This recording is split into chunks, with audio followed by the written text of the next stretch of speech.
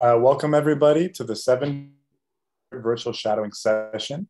Uh, tonight we are joined by Dr. Peter Antevy, and uh, we're going to be focusing on pediatric emergency medicine.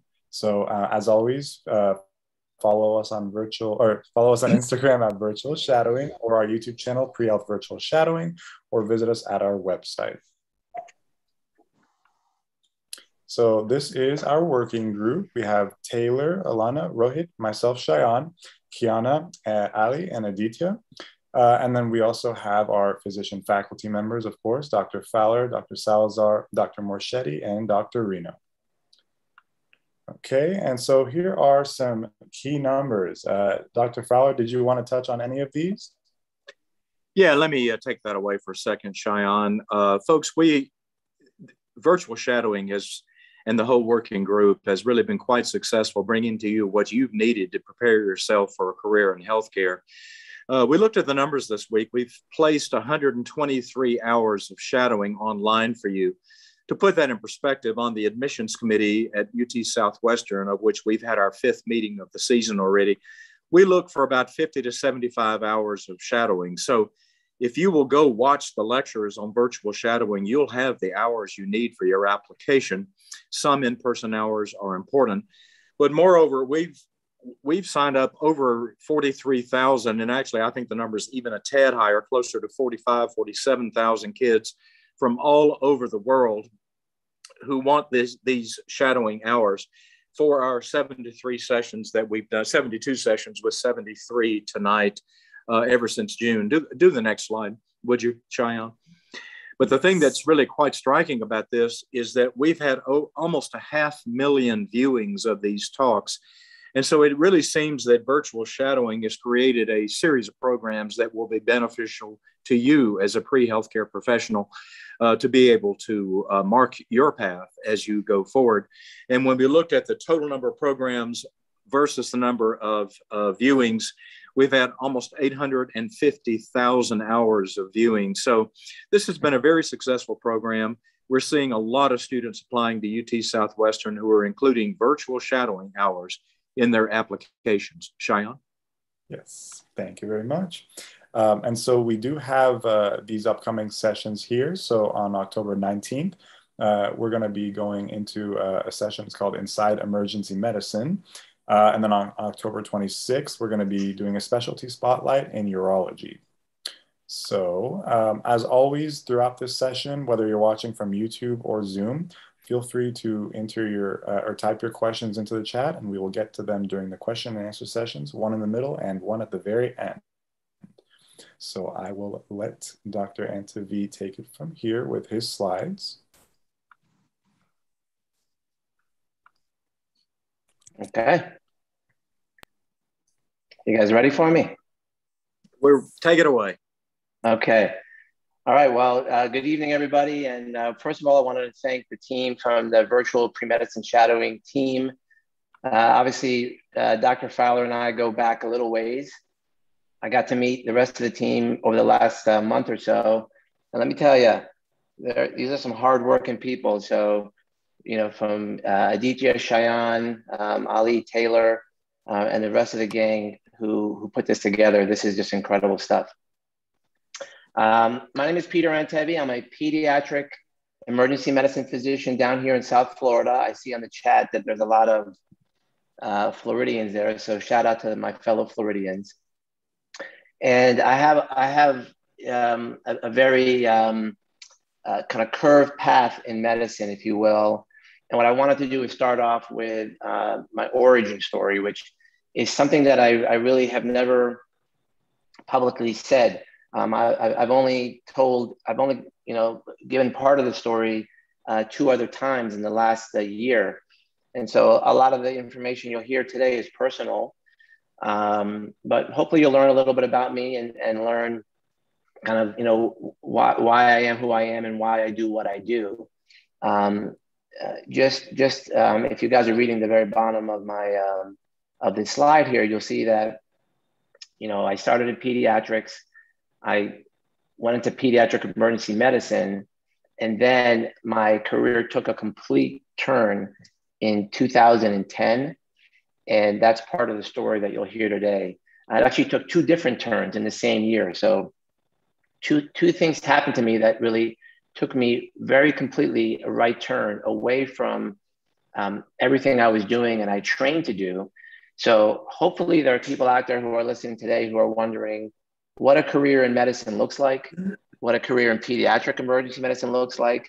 Um, and hopefully you'll, you'll see that one person, one thing, one event can change your career for, for the better. Um, and that medicine is not a straight path. If, if you see medicine as a straight path, you'll end up hitting the ceiling, right? There, there'll be a glass ceiling. If, you, if you're just going to do the same thing on day one um, as you're going to do the day that you retire, um, I think that I think that you're missing out on some major opportunities. And so hopefully, with hearing my story, which um, there's a lot of luck involved, I would have to say. Um, you'll you'll see yourself hopefully in in, in me, um, uh, who I am the ultimate underdog, right? So if you're listening to this from another country, or you couldn't make it into medical school the first time around, um, you're talking to the same guy right here. And so I'm excited to talk about my story. And, and I know Ray uh, and, the, and the team, please jump in anytime and, uh, and stop me. And I know there'll be um, questions coming into the chat. What I want to do is start off with a video. And um, th this video is really encompasses what pediatric emergency medicine physician does and what EMS does. And so as you hear my story unfold today, you'll recognize that I've worked in the hospital for 20 years. I've worked in the pre-hospital, similar to Dr. Fowler. Um, I've only been doing it for, for 11 years, but I've learned that those two uh, locations of medicine have to work together. And this first video is a recreation. And um, actually, I want to make sure that I uh, that I have the sound coming through here. So I want to reshare real quick. Sorry. Yep, the sound is going to come through. Um, th this is a video of kind of where things start and how EMS and people like me and, and the nurses I work with uh, would, would get involved. So let's show you this short video.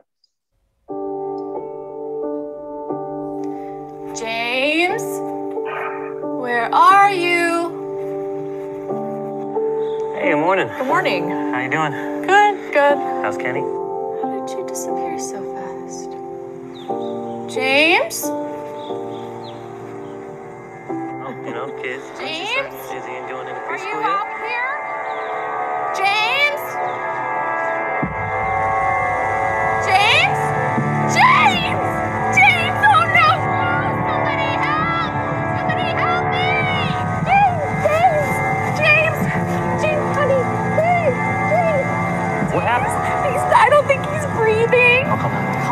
All right, help me get him to the ground. All right, James. Come on, James. Gently, gently. All right, gently. Okay, come on. Hello. Yes. All right, watch out. We uh, we had a kid drown in the hot tub.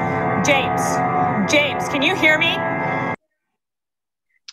Okay, so um, I, I, I would hope I would hope that that that, that video is it- it's more than likely. I mean, it still raises my heart rate when I see this video, and I've seen it a million times. And the reason it does is because what happens right at that moment, right from from second number one that you just saw this kid get pulled out of the hot tub, what what happens over the course of the next 10 to 15 minutes, which includes what mom and dad do, what the telephone operator at 911 dispatch center does, what EMS does, and then what the hospital does, all of those folks will take part in the survival of little James. And I, I was so naive, so naive. You know, I, I trained at you know two of the top five children's hospitals. I thought that I knew everything. And then I realized how little I really did know that um, it really takes a village. It's what we call the chain of survival. But there's a lot more to the story that I would like to take you through uh, as we go through. Now, part of part of this is, is therapy for me because what what I now uh, tell people is that in, uh, which is things that I never used to tell people before, but uh, in 2005, I made a tenfold medication error. And I'll never forget, it was room number four in the pediatric ER. Um, child was five years old or so. Uh, she was, she had a peanut, swelling, wheezing, the, the, the classic, what we know as anaphylaxis, like the picture on the left. And a nurse comes up to me and says, anaphylaxis in room four. Uh, she showed me what the dose should be, and I said I agreed. And I gave this girl 2.1 mLs of the life saving medication called epinephrine when she only needed 0.2 mLs.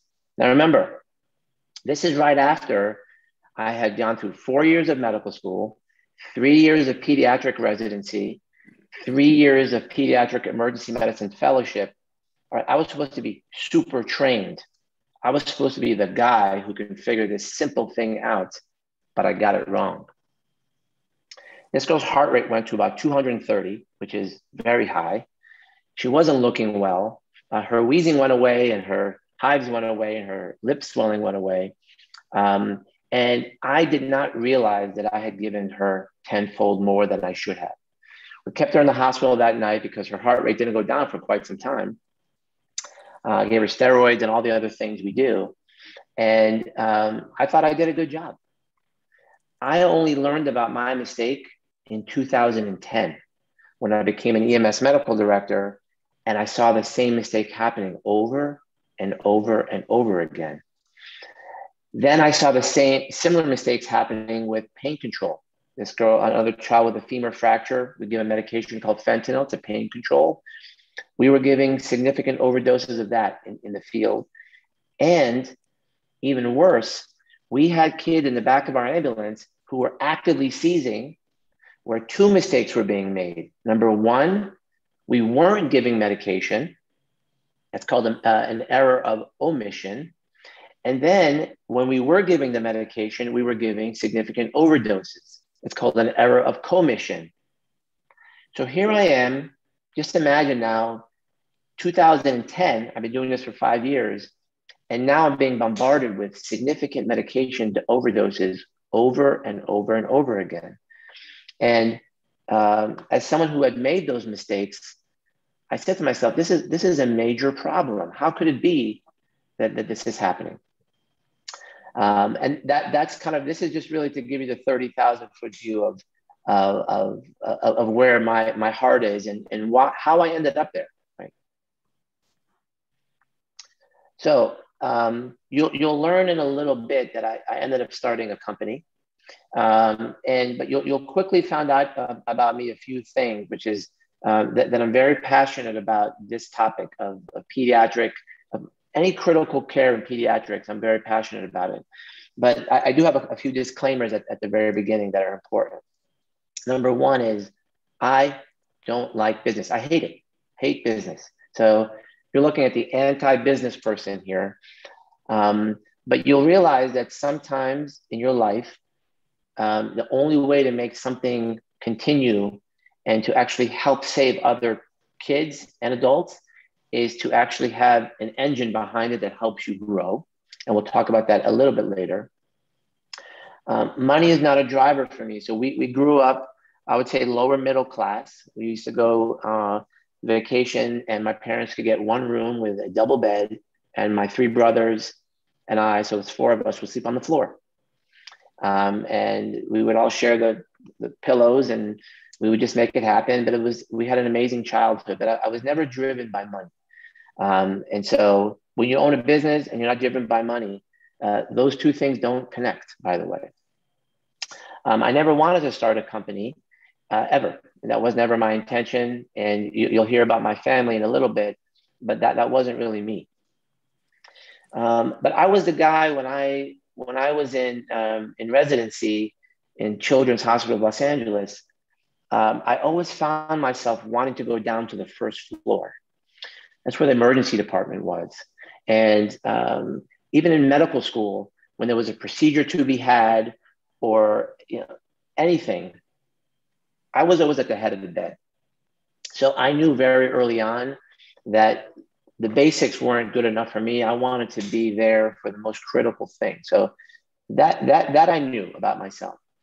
Um, but like I told you, I recognized things weren't right because I made those mistakes um, after being what I thought was very well trained. Um, and so I, right around that time, um, at around 2008, 2009 into 2010, um, I would come to the emergency department very stressed. And people who know me know that, that there's not a stressful bone in my body. I don't I mean, um, my wife doesn't like it because um, the kids go to her for all their problems because they know that it won't really move me, right?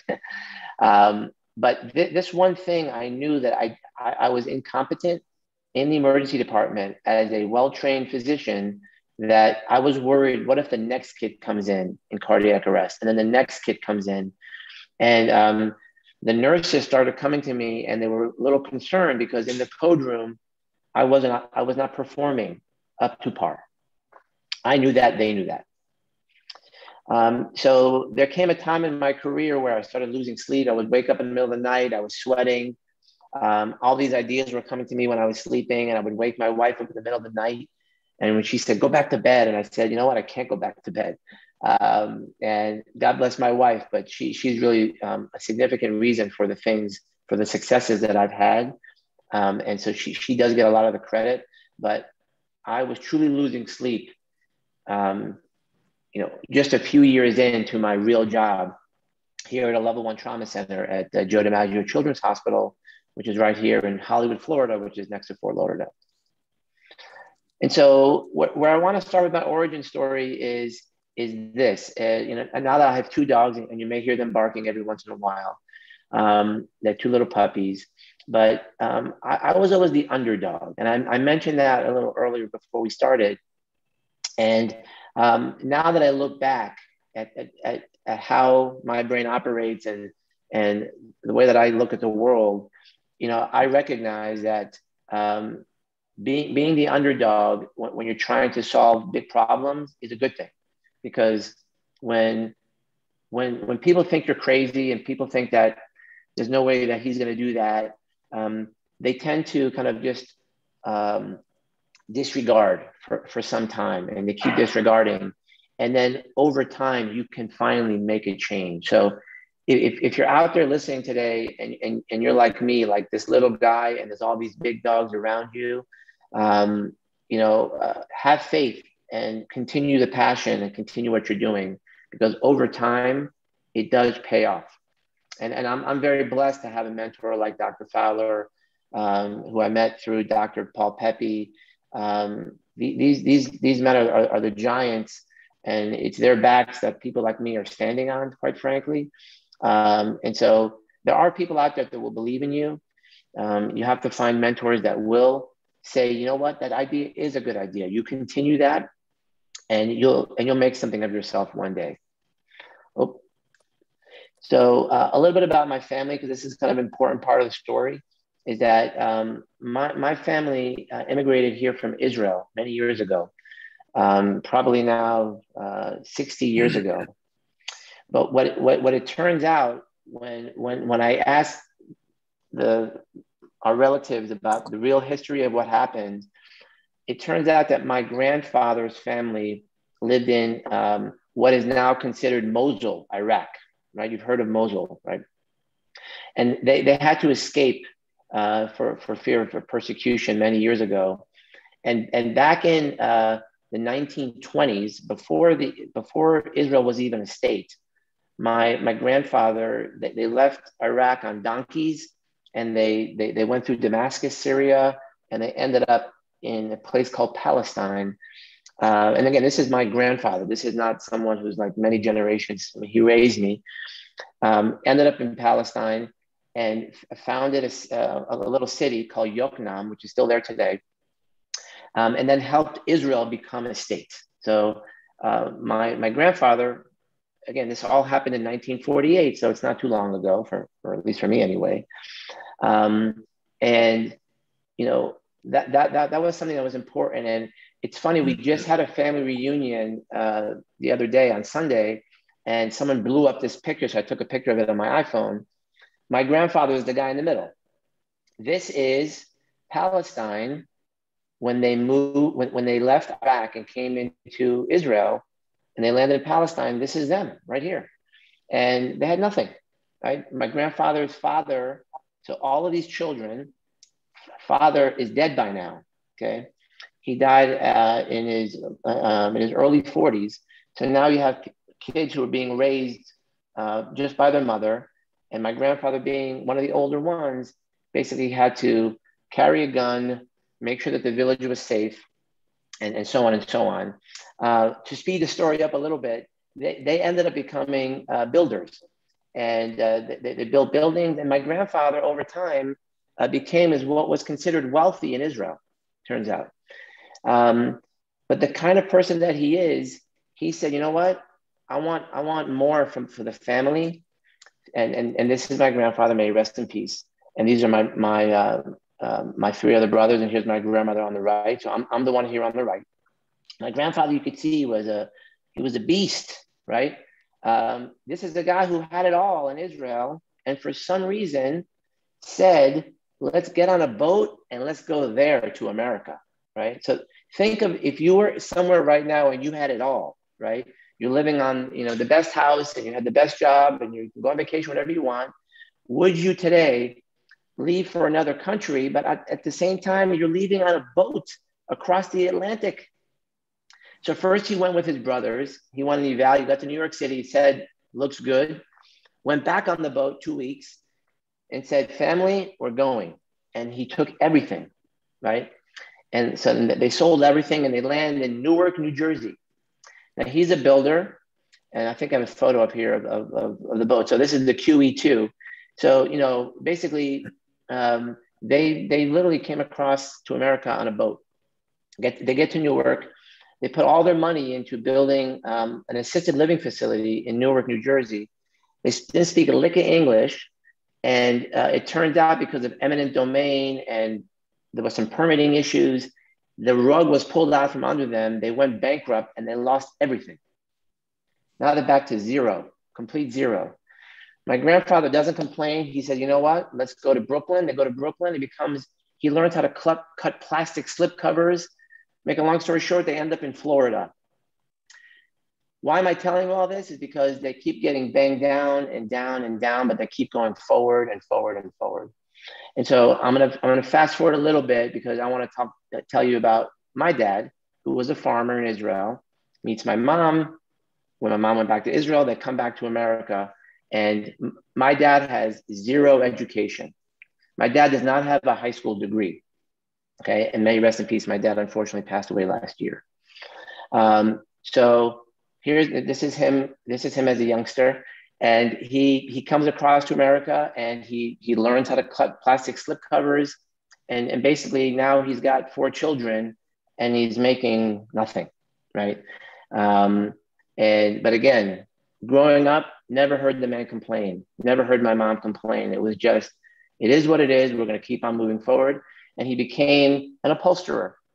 He let a couch had a rip in it. That was my dad. You wanted vertical blinds? You, you call my dad. And he was just an amazing, amazing person. Um, so why do I tell you that whole story? Because I went to University of uh, Florida as an undergrad, and I was the guy who was trying to coach all these kids to try to get into medical school, thinking that Peter Antevy is going to get into medical school. Well, guess what? I didn't. I got, I think I applied to 10 schools, thinking, of course, someone's going to take me. And I got 10 rejection letters. So what did I do? Um, you know, I called my parents. I'm like, what am I going to do? And they said, take another year, you know, do, do another, like a gap year, as, as you guys call it. And I, I, I did that. And then halfway through, I'm like, you know what? Someone told me about this school in the Caribbean. And when I told it to my parents, they're like, Caribbean, you're not going to the Caribbean. This is, you know, who, who does that? Um, and I said, you know what? I'm done. I'm going. I'm going. And um, my, you know, I, I applied. I did an interview, and they accepted me.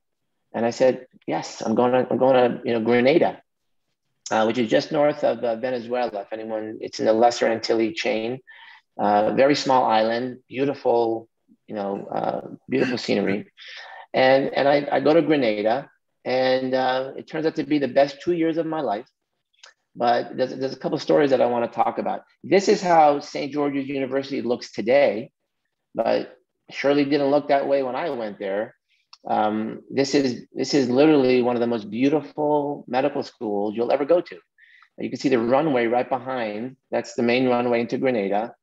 And um, back when I was there, we, we had some really, really bad. I mean, one of one or two of these buildings have been built in this picture, but uh, th- this is more like where I went. uh, the building behind you used to be a motel. They converted it into student dormitories, but the beauty of it, it was right on the beach. Now, why am I telling you this story? Uh, just to kind of take you a little bit into my history. When we used to go get mail, there was no internet back then. There was a mail room, and we used to go to the mail room, and there was a line at lunch for mail, and it took about an hour, hour and a half to get the mail. And I would go up to the window and say, Peter Antevy, and they would they would they would look through one piece of mail at a time and they would find my mail and bring it to me. And I said, well, that, that doesn't make sense. Uh, wh- why are we doing it this way? And they said, we've been doing this here for 20 years. So um, I became the class president and I said, you know what? I have an idea. I saw one of the rooms in that old hotel that wasn't being used and I convinced the dean to let me modify it a little bit. So he, he allowed me to really tear down one of the walls of, the, uh, of that room. And we, we actually built an entire uh, sliding glass window with, a, you know, you can kind of open and close it. And then I had him build mail slots. Now, I don't have the picture of that, unfortunately, but I'll show you kind of something similar. So th- this wasn't the room. but but we, we actually had built mail slots so that every student would come in. And then we ended up hiring the spouses of the students. And we had a fax machine if you wanted to type out a fax to somebody. Yes, we used faxes back then. Um, and we, we, started selling things out of there. So we kind of created our own little business. And um, I thought nothing of it. I mean, uh, there was no fanfare behind this. But looking back, um, it, you know, uh, now that now that I kind of know more of who, who I am, um, the, the, this is the kind of person I am. I see a problem that seems pretty pretty big problem that you want to fix, yeah, you fix it, right? Uh, without without any concern for how difficult that, that may be, right? Tear down a wall, uh, we can convince people to do that. Now, um, I was very, very fortunate that um, after two years in Grenada, that I was able to transfer to the University of Miami. And, you know, again, um, there, there, there's an entire story behind this that I, I'm not going to go into only because we don't have a lot of time today together. But um, th- this story of me just thinking that the University of Miami, I had great grades, class president, they're going to take me. Well, it turns out that they want nothing to do with me. Um, so what did I do? I took a board course for the step one of the boards at UM, and I decided I would sit outside the dean's office until she went to lunch. And uh, she went to lunch one day, and I said, Dean Canterbury, uh, you know, Peter Antevy here. She said, I don't know you. I said, Yes, I know that. I know you don't know me. Um, we, we started chatting up a conversation, and next thing you know, she brought me back into her office. And um, I said, You know, I would love to transfer. She says, We don't take transfers. But I was the class president. I don't care. But I have great grades. We don't care. And um, I'm not sure what happened during that conversation, but she, but something turned around and she says, "Hey, you know what? I like you, kid. Go get a good score on your boards, and I'll consider taking you." And boy, I mean, uh, talk about pressure. Um, I went, I went and really studied hard for my board exams, and I got a great score on my boards. And um, that year, the board exam got stolen. Someone had stolen the board exam, so there was a very big delay. And I had planned on now going to New York City, where it would be my clinical rotations. Um, and I called the secretary the day before I left, and I said, I have to see the dean because I'm starting school tomorrow in New York. She says, The dean won't see you. So what did I do? I drove my car back to the dean and I waited outside her office again. And she went to lunch and I said, Hey, Dean, remember me? And she said, Yeah, I remember you. And she brought me back into her office and she, she says, um, Wait two weeks and you'll hear from me. And long story short, she, I ended up getting a phone call from, from Dean Canterbury um, and they accepted me into the University of Florida. The reason I'm telling you that story is is because many of you are going to get rejection letters. Many of you are going to be told that you're not good enough. Many of you are not going to have the scores, perhaps, that the person next to you has, but that doesn't matter. That doesn't matter. All that matters is, is that you have, have passion and that you'll open any door, any door that, that is locked or unlocked. Maybe you have to pick the lock to get through it. You have to make it happen. No one's going to come and give you anything on a silver platter. And I know how hard is it, it is today because, you know, I get a lot of students coming to me asking me to do research with me and uh, to do an internship with me and so forth. So um, never give up on your dream. I don't care if it takes you 10 years to figure it out, go for it. If, if, if that's what you wake up in the morning wanting to do, do it. That's, that's the, the, the moral of that story. So um, graduated from University of Miami and remember I came from a, a, family who my dad was an upholsterer, my mom was a travel agent. Um, I have two brothers. One, one was in architecture school, struggling. My other brother was in, going to uh, civil engineering, struggling. So, of course, this was the day where it was our son, the doctor. Okay. So, this was a very big day in my family that uh, I, you know, I, graduated from University of Miami. Um, and and um, I ended up going to the Children's Hospital of Los Angeles. Um, great, great program. Um, by the way, just as an FYI, they didn't want to take me either. Why? Even though I graduated near the top of my class, University of Miami, they said you came from a foreign medical school, therefore you are in the throwaway bin. How did I know that? Because I called up the secretary and I made friends with the secretary over the phone, and she said, I hate to tell you, but they haven't even looked at your application and they never will. And I, you know, I called her back a few more times and she said, you know what? I'm going to put you in the other bin.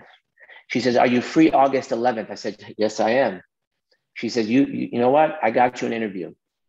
And then it turns out what I didn't know that that secretary, Peggy, they give Peggy one vote. Whoever she wanted, at an entire interview class, she gets that one person. And I happened to be Peggy's choice that year. So no one can say no because Peggy had that choice. And so that one person is another person who changed my life and then uh, enabled me then to go to Children's of Pittsburgh, which I never would have gotten into for pediatric emergency medicine fellowship because it's it's one of the top programs in the country. Um, and they took me. Why? Because I went to Children's Hospital of Los Angeles. And so the, the, the moral of this entire story is that, um, you know, it's not about what's on the paper. It's what's about what's in your heart and what you know that you're meant to do in, in your career. So um, hopefully I can, I, have pressed upon you that. Um, I was fortunate enough in 2005 to uh, then get my first real job as a pediatric ER doctor. And for those of you who are, who are thinking, hey, what, is, what does someone like that do? And what, what does that career look like? I guess I'll take a few minutes when you're um, an, any emergency physician, your your your career is now working in an emergency department, and um, they they vary from level one trauma center where you know kind of all the big bad stuff comes in to an outlying community center, uh, an outlying community emergency department where you're taking care of people in a community, but you may have to then transfer people out to maybe um, the larger center that has maybe more spe- uh, subspecialists. Um, but I, I've worked my entire career at these larger facilities, similar to a Parkland where Dr. Fowler works. And um, that, that, that consists of doing shifts where the shift is either 8, 10, or 12 hours long. Um, but I routinely only did 12 hour shifts. The requirement uh, for this type of work is that you do a minimum number of shifts per month. So you can get a certain number of hours. And in my case, it was 144. That adds up to 12 shifts a month. You could do the math 12 shifts, there's 30 days in a month. It seems like an amazing career, and it is.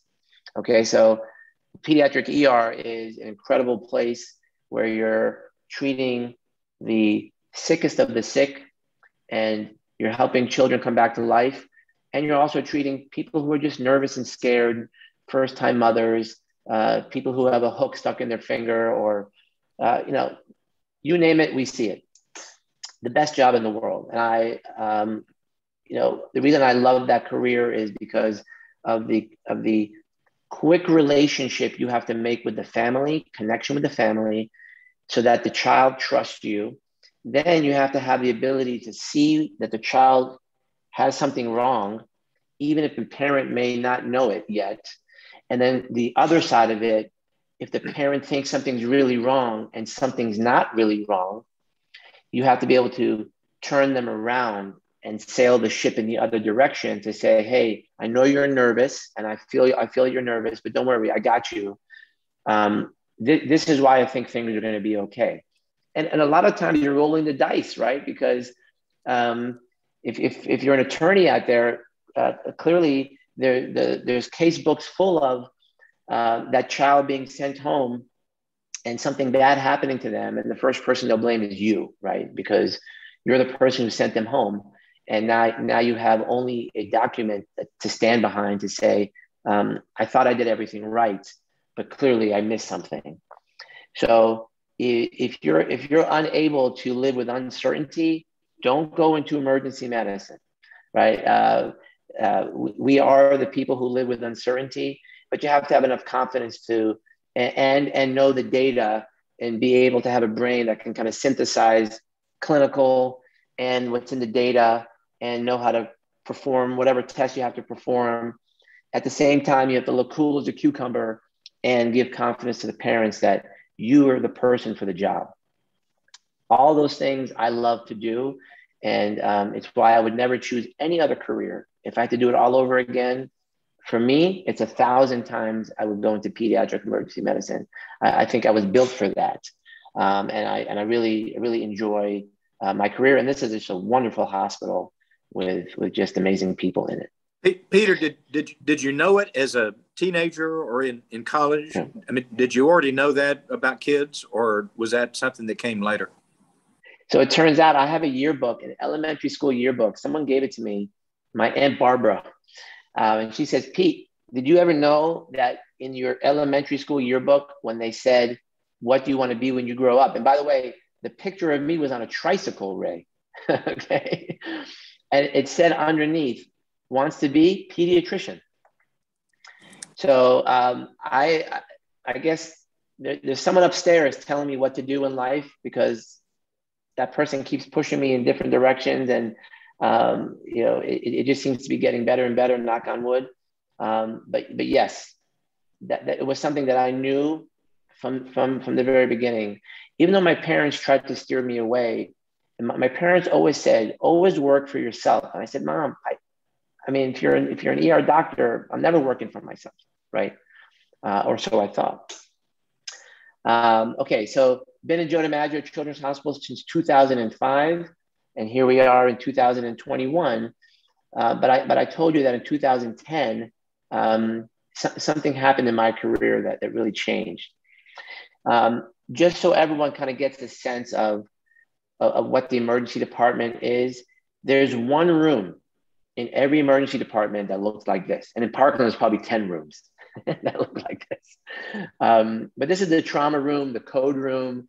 Um, th- this is the place where I love to live, right? So um, put me in this room all day long.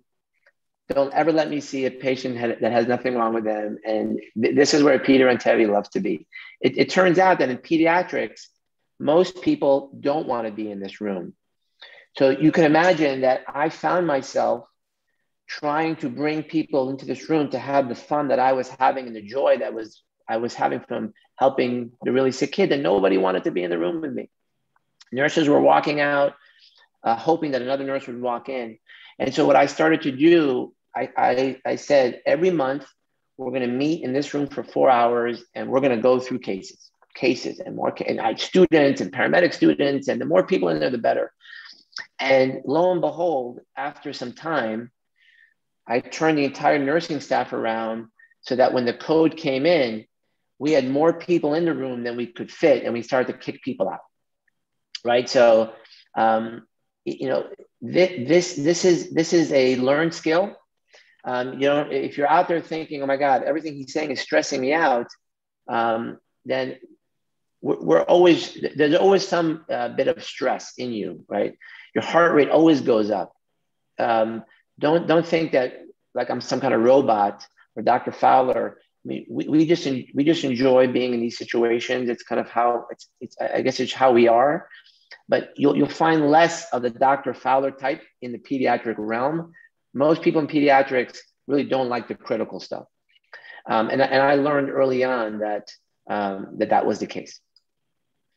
Um, but I, I, could tell you that um, when, when, when you feel that you don't know what you're doing because of the dosing and the medical errors that you were doing, um, all of a sudden it becomes unsafe and unhealthy. So if you're a nurse listening to this today um, and you've worked in the pediatric ER or you will work in the pediatric ER, uh, it turns out that where you work, how you train, how they teach you, especially when it comes around pediatric codes, you'll find yourself very, very quickly saying that there's two types of nurses. Uh, ones who come in in year one, they're gone. And then the other ones who come in and they stay for their entire career. So go to any P- children's hospital, go to the pediatric ER, and you'll find 30 year nurses, a group of them. And then you'll find the first and second year nurses, and there's very little in between.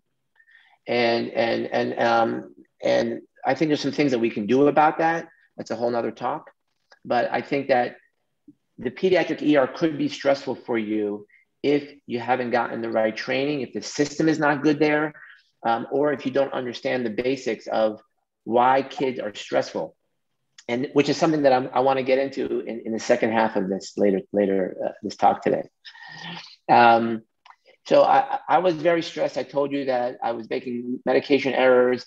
I was in the code room. I wasn't feeling comfortable because this guy, Robert Hickey, I call him Bob. Bob is was my mentor at Children's of Pittsburgh. And when we had a code in, in Children's, Bob would just, all the doses he would know like that, They're rolling off of his tongue, tube sizes, drip doses. I mean, he knew it all. Um, and, and he, again, Bob is, is one of the authors of, of the guidelines uh, he's one. He's the second author of the uh, original PALS textbook and the PALS guidelines. So I called up Bob and I said, Bob, here I am. I just left you guys, and I come into my code room and they're giving me a length-based tape. And in Pittsburgh, we never had this length-based tape. In LA, we never used a length-based tape. They had it, but it was somewhere hidden away.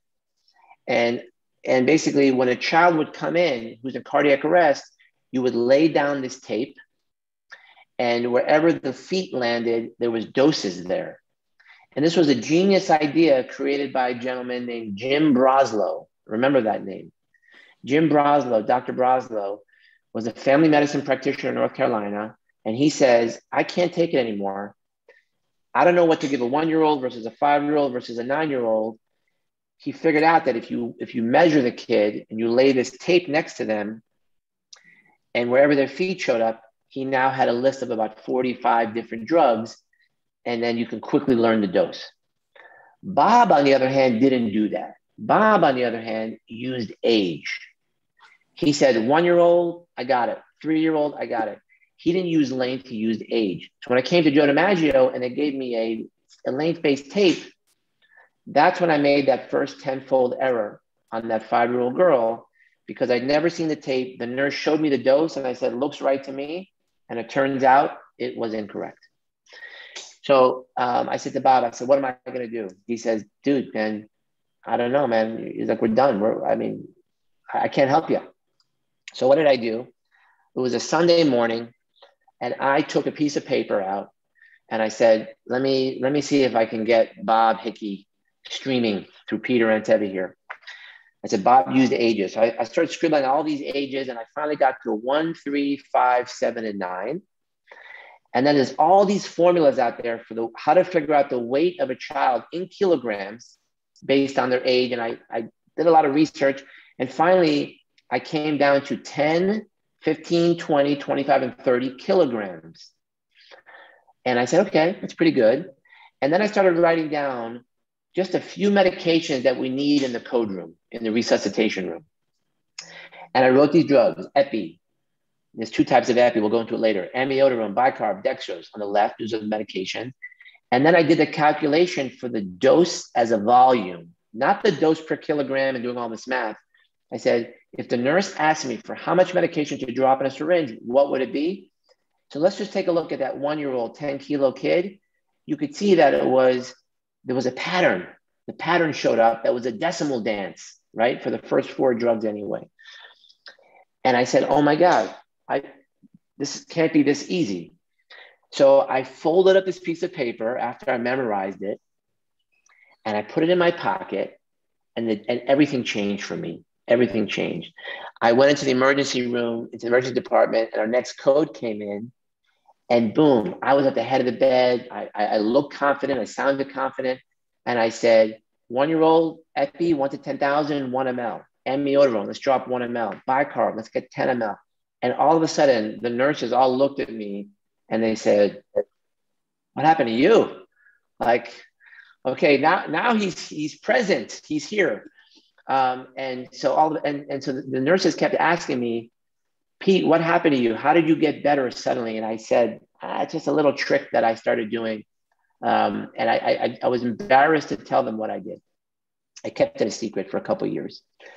So long story short, um, in 2009, a nurse, Maricar, who another person who changed my life. She said, Pete, you're giving a lecture next uh, next week on pediatric drowning.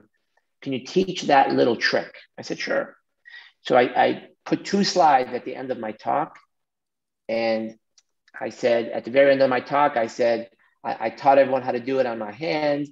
And I had the whole crowd going. And, and all of a sudden, I see all these lights, these eyes lighting up.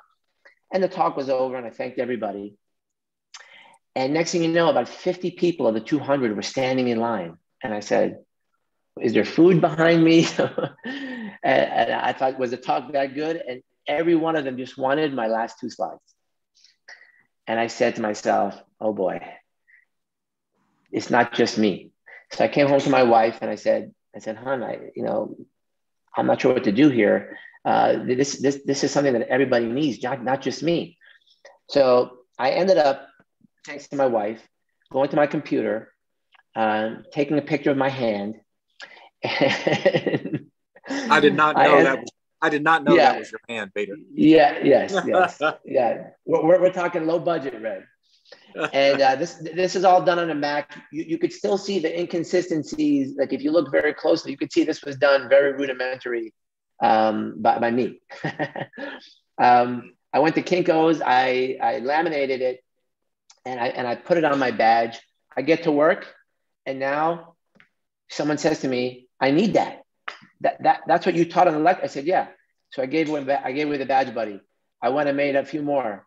Next, I come to work, and literally, however many I had were gone. Right? People were coming down from the OR. They were coming from anesthesia, paramedics, and next thing you know, I started getting uh, asked around the country to give this talk about this five thing, five hand thing.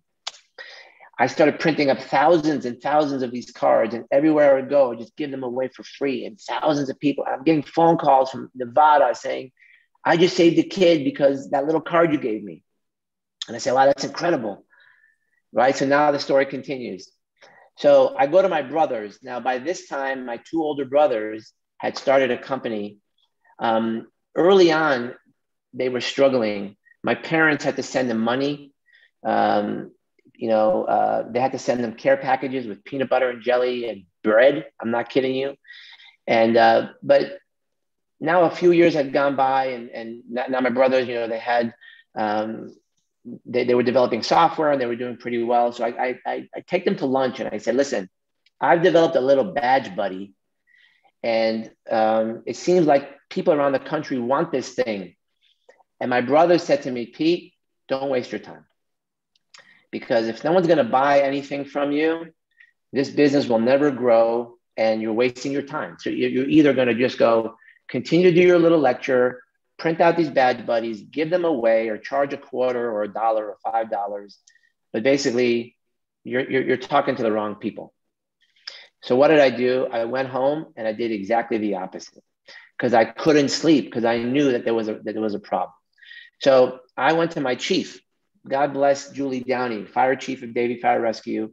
I just became the medical director and I said, Chief, what would I tell you if I if I said to you that um, our medics are making mistakes on this length-based tape because it doesn't follow our protocols? She says, You don't know what you're talking about.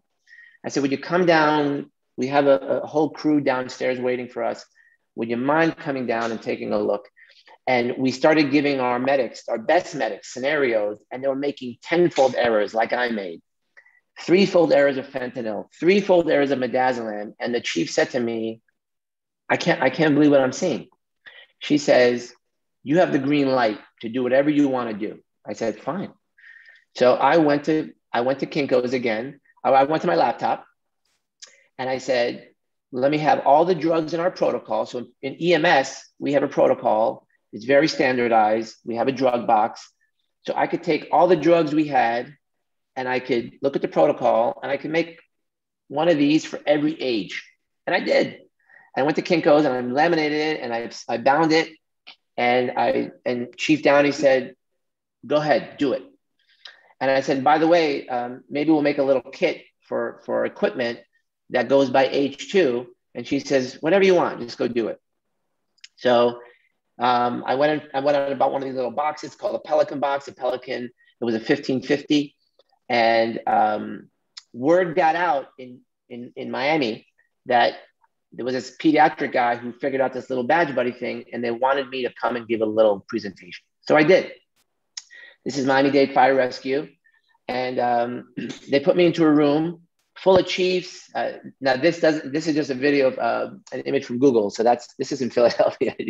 Ray probably recognizes uh, some people in here. Yeah, yeah, Crawford. Right, Crawford. Right. So I go into this into this small room in, in Miami Dade Fire Rescue. There's about six medical directors. There's about ten fire chiefs, and there's a and there's a, a couple EMS uh, chiefs and I have a yellow box and I have a little book and a badge buddy. And I said to the chief, Chief, what if you bring me your assist, your administrative assistant? And then I said, Is there anyone in here who's a pediatric pro? And one of the chiefs raised his hand. He's like, I'm PALS expert. So I brought the chief up and I brought his the assistant up. And I said to the assistant, Have you ever treated a kid before? She's like, I'm not even in medicine. I said, So you've never seen a patient? You've never met me? She says, No. And I looked at the, the EMS guy and I said, okay, you're ready to do four cases? So I said, I want the dose for, for four, I want four different drug doses. And I had a stopwatch and I said, go. The assistant opened the book. She looked at the age and she rattled off four doses within about 12 seconds. The chief, on the other hand, using the other tool that they were using, couldn't get one dose right. He made three overdoses, and the fourth drug he just gave up on and I knew this was going to happen because I had done it in my department. So I, I kind of figured this, this was going to happen. So all the jaws were on the floor, and I and the chief says, "Okay, thanks, doc. You can you can go now." I get in my car, call my wife. She says, "How'd it go?" I said, "I think it went pretty good." And I get a phone call ten minutes later, and they said, "We'll take 200 of those." And I said, "I said 200 of what?" Well, 200 boxes and we want the books and the whole thing. So all right, there was, I called my wife again and I said, hun, we, we got to do something. She's like, I'll handle it. Um, and then she says, you know, she says, you know, you have to start a business now. I said, how do I do that? Um, and so now, now you see how I ended up. Um, so that, so the, I guess the moral of my personal story is that there's a yin and a yang, right?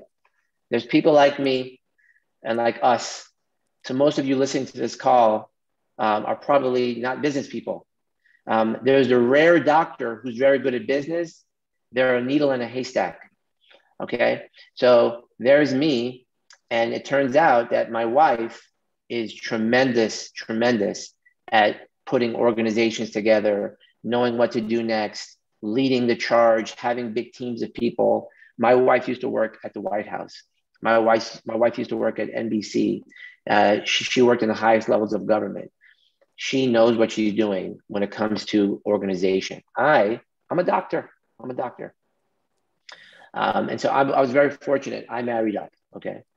So um, if, if you're out there, you're a physician founder, and many of you out there, your nurses, your PAs, paramedics, I get people call me all the time now saying, hey, I have an idea, and I heard that you have put ideas into action. And they say, what do I do? I said, you got to go marry someone who knows what they're doing. um, so if you really want to read a good book um, about about um, you know ideas, read, read this book. It's called. It, it, takes you about two hours to read the whole book. Um, it's about ideas and which which ideas make it and which don't. Um, you, you're probably the person who has the vision. You should be the person who knows the science. And at the end of the day, um, this is as far as I got. Right? I went onto my laptop, my Mac, and I made this. And then basically, I was clueless, helpless after that. Um, so don't think that just because you have an idea, that it's going to become a big idea. You have to find the people who will help you make it that idea. So, just as an example, what you guys are doing right now with this virtual shadowing is a humongous idea. Humongous.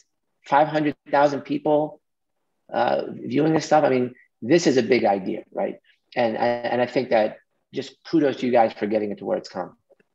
So I'm gonna I'm gonna further the story just because I want to finish here at the top of the hour and give everyone a quick break, and then we'll go into the next section. Is that I, I ended up years after starting the, the company, uh, now about five years ago, creating an app, and now and and, and the app then now rolls into um, it integrates with other medical records. And um, now we have an entire team of people who build this app. And uh, fast forward, for those first five years of the business, all my colleagues thought I was crazy. Nobody wanted to talk to me.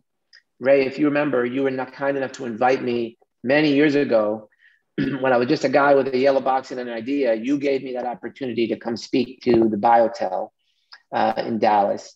So there are people out there, there are Ray Fowlers, there are Paul Pepes out there who say, kid, you have an idea, don't stop. And then there's 99% of people who will call you stupid, never going to do it. Stop while you're ahead. You're a loser. I don't want to talk to you. Don't email me. Don't call me. I'm not going to invite you to the party. Okay. That happened for many years in my career. Um, but we never we never stopped because internally I knew that I was living that nightmare. So I knew that if I was living it, probably many other people were living it as well.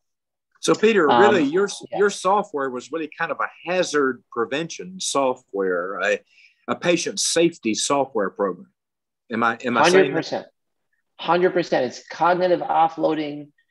At, at the moment, and, and again, I don't go into this in this talk, but when your heart rate is physiologically out of normal. So if you're a little nervous, you're going on a date, first date, or you're giving a talk, and your heart rate's 110, 120, that's probably okay.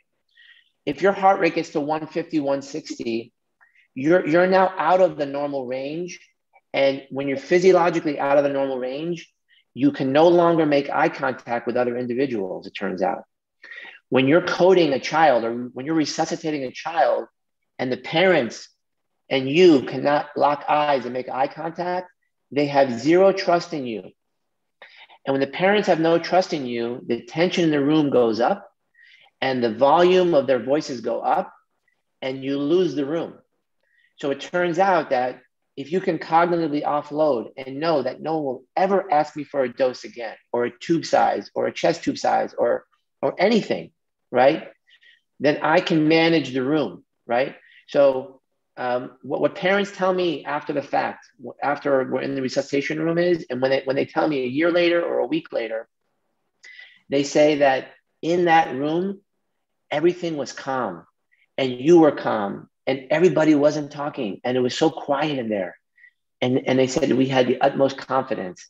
And that never used to be. It's only because I had to create a system for me where nobody would ever ask me a dose. So yes, Ray, w- w- without um, having this, you as the leader of the ship, as a captain of the ship, you cannot focus. Period. Peter uh, Ellis asked us a question: How do you determine dosages when a child seems to be underweight for her mm-hmm. or his age? That, that, that's a great question. Um, when using age, it's the entry point. So if you get to the scene and the child is 16 years old but the size of a two-year-old, you have to use a length based tape. So The length-based tape doesn't go away. It's just a secondary option rather than the primary option. If you use the length-based tape as the primary option, you can only start figuring out doses when? When you're in front of mom and dad. However, if you know the age before the child's in front of you, and in EMS we know that, you now can start making those calculations prior to arrival. Therefore, your heart rate is low, lower prior to arrival as a, as a EMS professional. And then you're walking up to the scene and you're not looking away from the parent, you're looking at them. It's that first moment in time where you now have control of the scene, as opposed to getting there, being nervous, not looking at them. They start yelling, you start yelling, and all of a sudden all hell breaks loose, and then you want to leave. So it turns out paramedics want to leave the scene before they get to the scene. This small little detail is huge. It's it's it's like it's it's like maybe the biggest thing. Um, it, it's like you know, the most simple details have the most dramatic impact. That's the hidden little secret that um, that that that's out here. Is that if I'm if I'm in the emergency department and you say, "Hey, Pete, three year old coming in cardiac arrest," well, I know the dose of epi is 1.5 cc's. I'm done. I'm good all day long. Bring them in, right? I'll take care of those kids. So yes, so so the app, and I, I have a quick little video just so people understand what the app does. It's customized so that the Dallas app will reflect only the Dallas drugs, and the Davie, Florida app will will will have only the Davie. Uh, so it's very highly customized. Um, it takes about a month or two to get the agency up and running, but you just tap on it, you have the dose, and the beauty of it is is that and we do drips. Uh, there's a there's a metronome on here. All the equipment is there. Everything is customized. So every single drug dose equipment is exactly based on what that agency or hospital carry. Um, and then with one press of a button, you you actually send it and it goes into the paramedics record or into Cerner or Epic. Um, so and you can see how how how long that takes. And over time, we integrate with you know, these leading um, um, what we call ePCR. So if you're a paramedic and you, you, you, you have to document the software of your patient record, it goes right from our phone app into their record within about a, a couple of seconds. And that, that type of collaboration and integration is what really made us get to the next level in, in, in the company. So much so now, now that we're in all 50 states and over 1,300 cities. Um, and every year we have about 360,000 uses of the application. That's actual people that's being used on. So um, it, it's, it's, come a long way, um, but years ago um, it, it, was it was much more difficult than that. So uh, I hope that answered the question.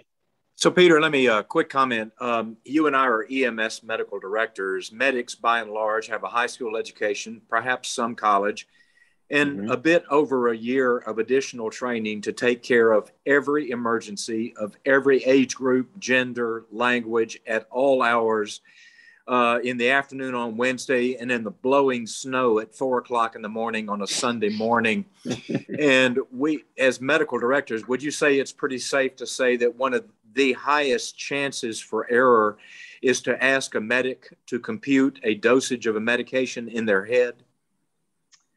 Ray, uh, you know, that, that, that is it. You hit it right on the head. I will take anyone to dinner if, when in the middle of a code, resuscitation, if, and there's data on this, if you can ask someone to do a simple math calculation, that's not two times two, um, they cannot do it it is physically impossible. And by the way, we don't carry calculators and we don't carry pen and pencil. So you know what happens? They don't do it. Or they do a quick calculation in their head, they give the wrong dose. And then when we document that same patient who got that medication at 12 midnight, we document at two in the morning or maybe at nine in the morning. The way we document the record, we don't document what we gave. We go to the protocol, we say, what should we have given for that five year old? Oh, and then we do the math because now there's no stress. And so the medical director, when if I'm evaluating the chart to look for an error, I'm not finding it. I'm only going to find it if I, am I'm, I'm, I'm knowing what was, was given at the scene. But that was never documented. So, yes, Ray, you hit it right on the head that it is Russian roulette. Russian roulette. If you're going to try and have someone do a, math, a complicated math equation on the scene, and forget about cardiac arrest, seizure, that scares a lot of people, right? Kids got a femur fracture or, or a humeral fracture, and they're screaming in pain, and you have to give them a fractional dose of a drug that, that requires a fraction to, to calculate, good luck. Never going to happen. So I'll, I'll, I'll continue here to say that, uh, you know, now I know why I've been put on this earth. Why? Because when I recognized that since 1980, the survival in pediatric out of hospital cardiac arrest, like the video that we started seeing, there's no change in the outcome, zero for many, many, many years. I'm going to get into that on the next talk and go a little deeper into that.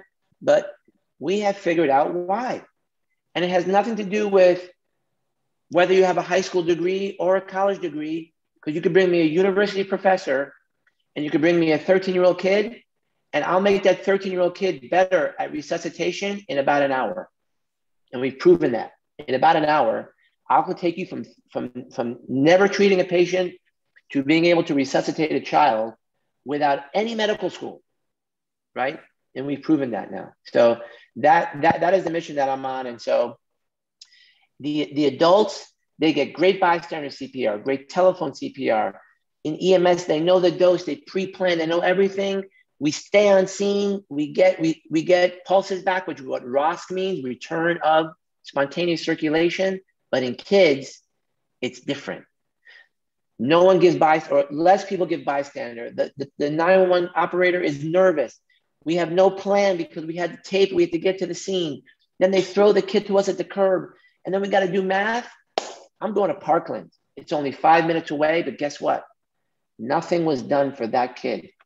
That kid in the hot tub could have been saved on the scene.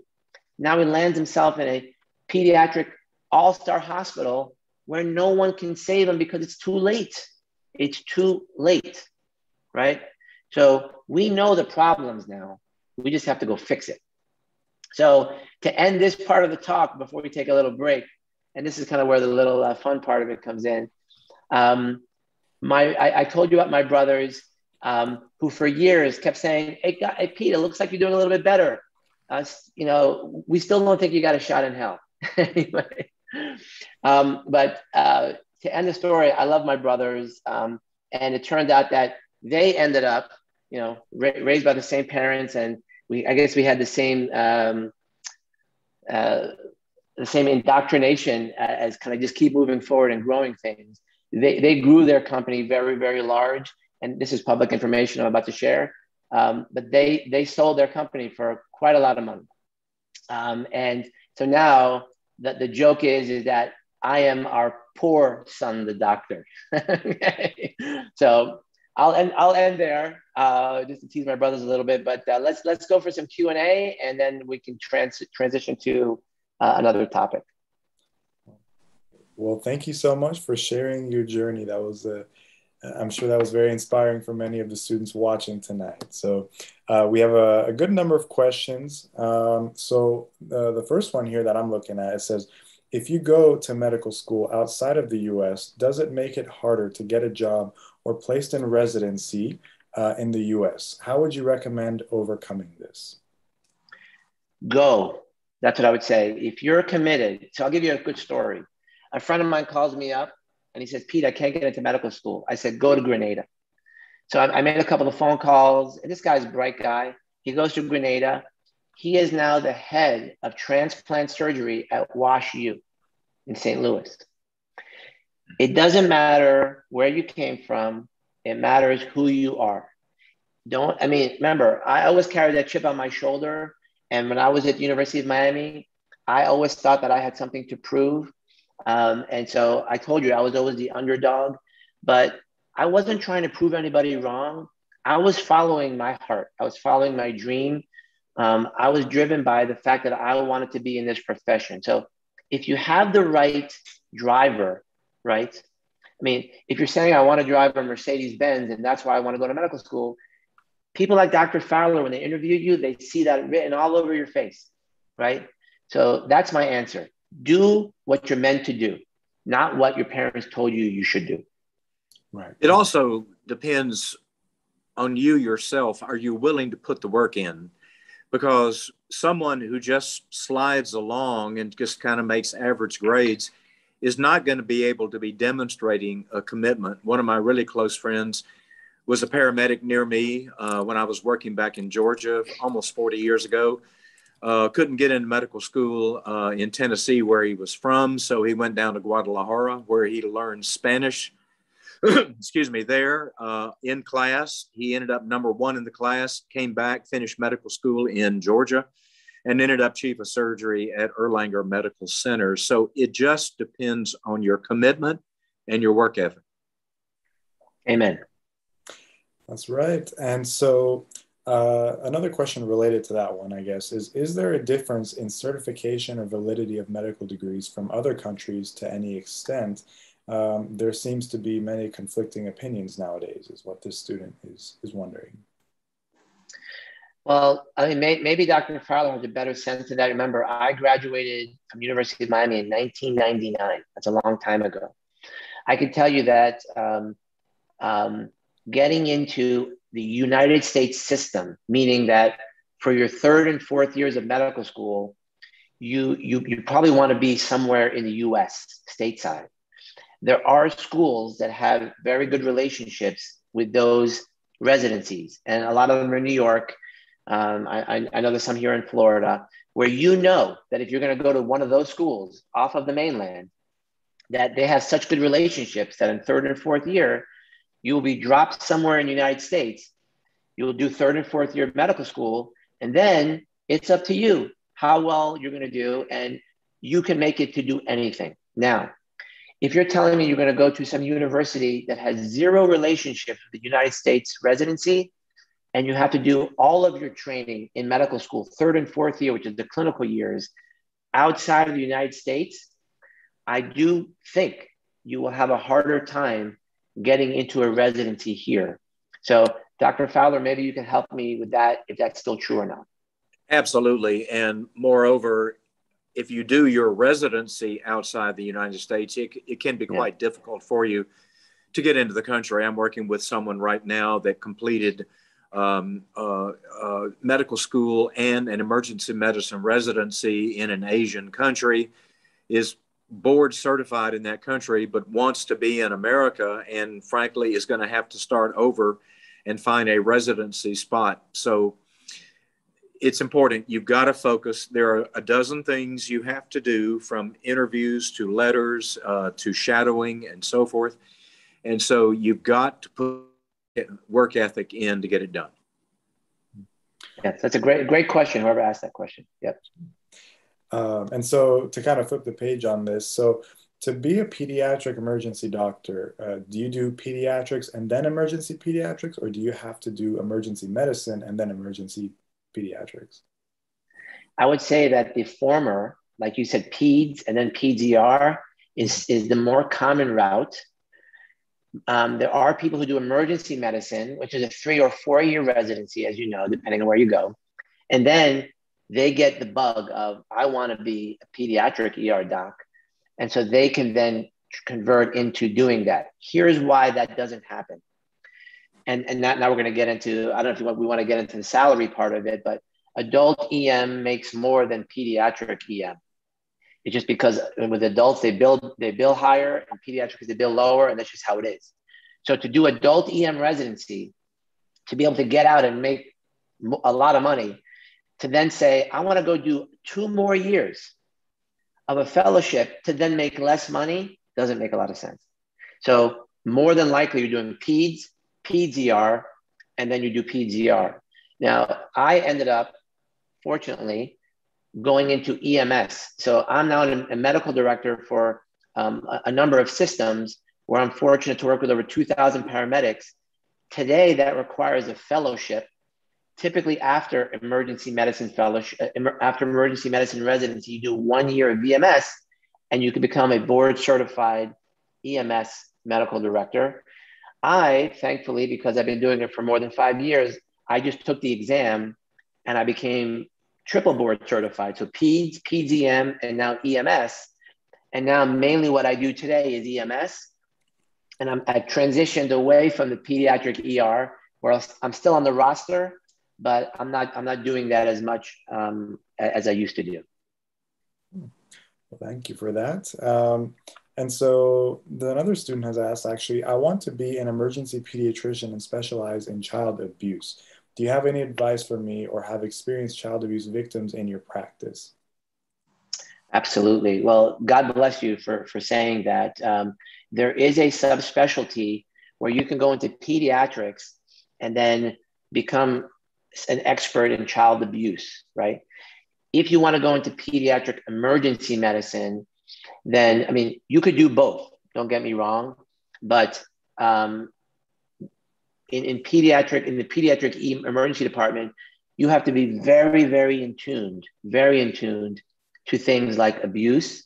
Um, you, you know, we have all these issues of, uh, of kids being, um, um, you know, move, moved around the country with people who are not their parents. And uh, um, uh, the word is escaping my head right now, but um, you have to be very in tune with a lot of different things.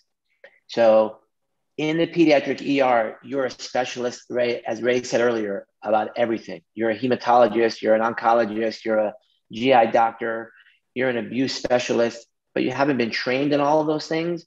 But during the six years of your training, three of peds, three of pediatric ER, you could take a couple of extra months and work with the child abuse team.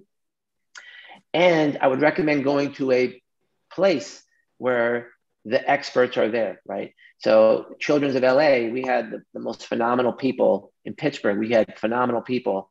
So, just during those years of training, you learn more than you need to on, on, on recognizing child abuse, which is, you know, it's unfortunately a very big problem in our, in our, in our communities. So great question.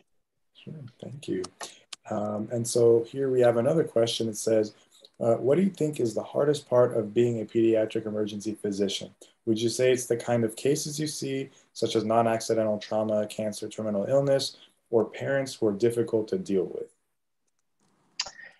I can tell you that I, have cried many nights, both in the emergency department with families and at home uh, when I come home to my, my house. Um, and I, I could tell you that um, that's the hardest part, but it's the best part, right? because you know it's not often that children die thankfully.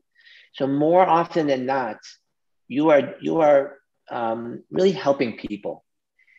People who are at the worst moment in their lives you're able to help them turn them around give them a smile even when the times are tough.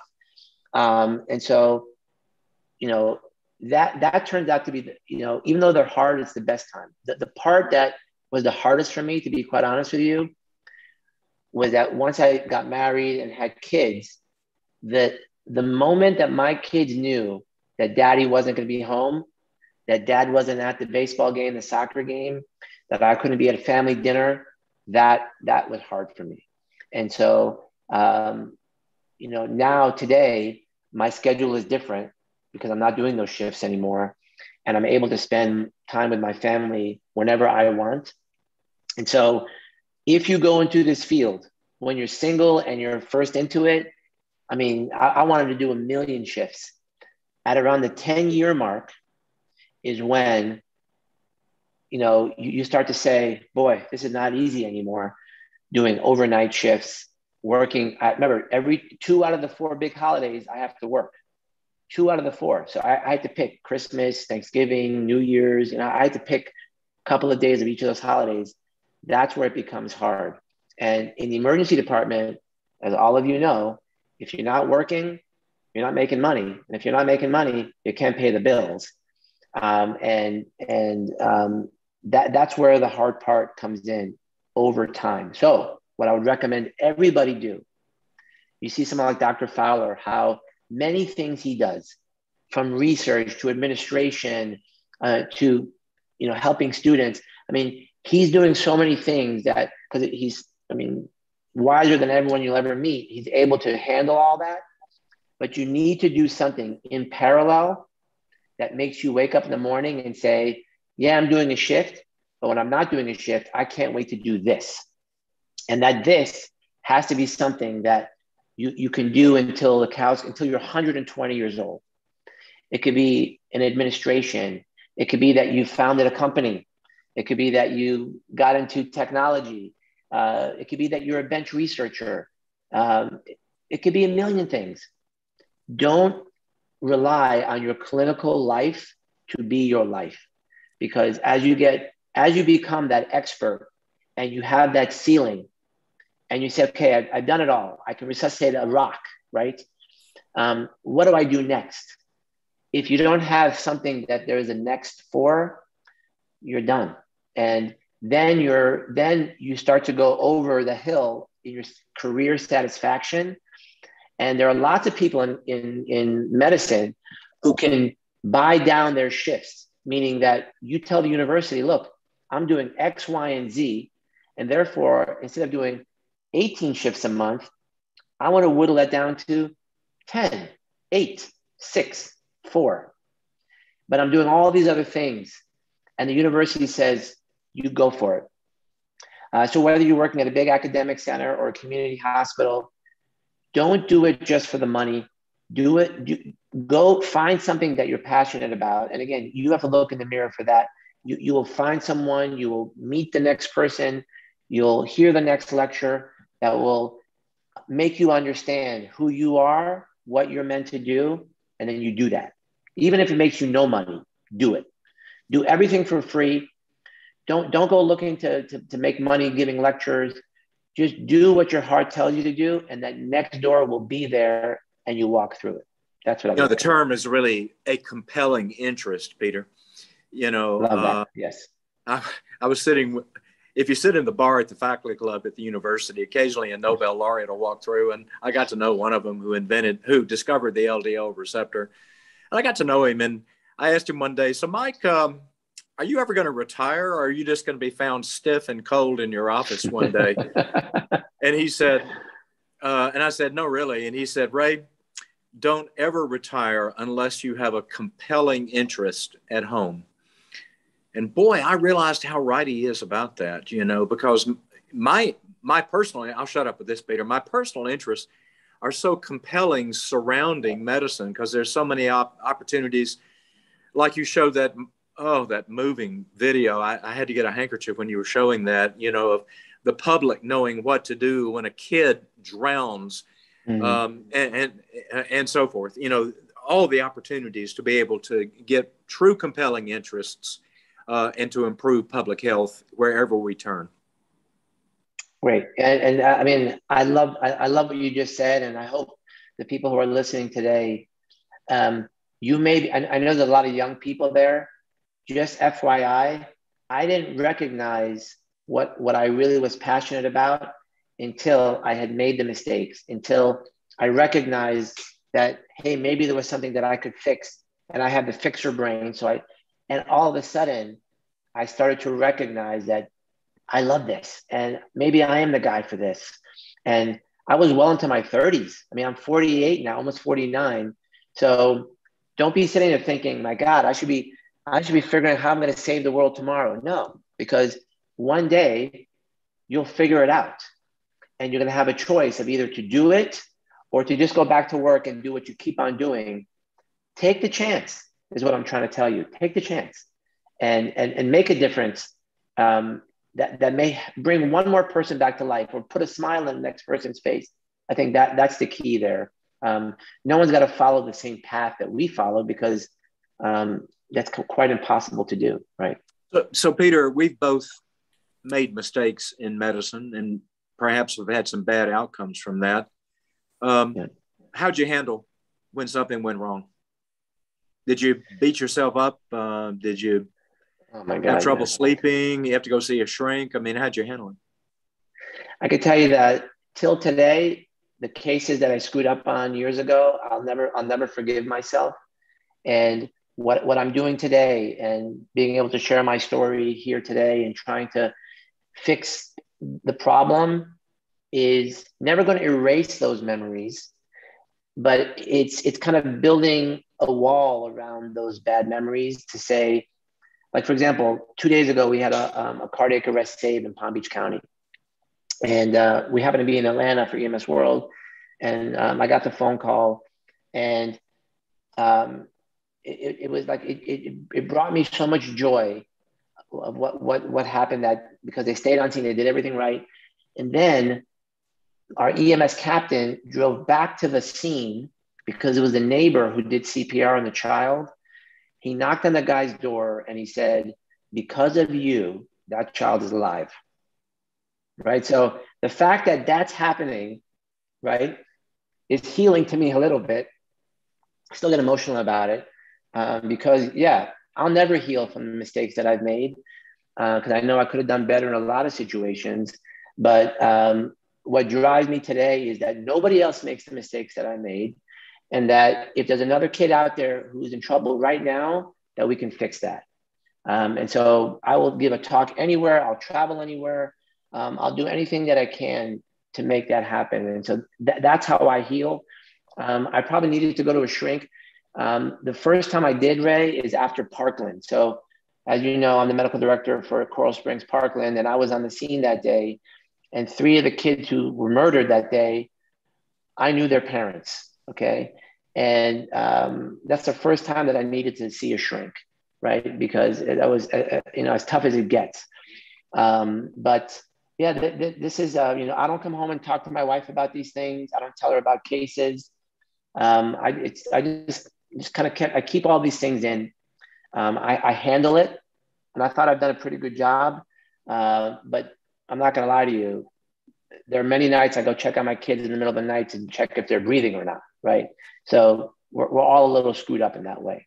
Just that's just part of the part of the the, the, the profession. Peter, the amazing thing, and I've known you so long, is that you haven't even begun to touch on all the stories you have.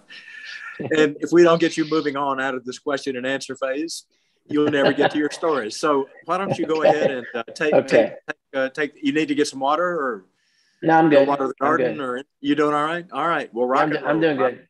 Rock and roll.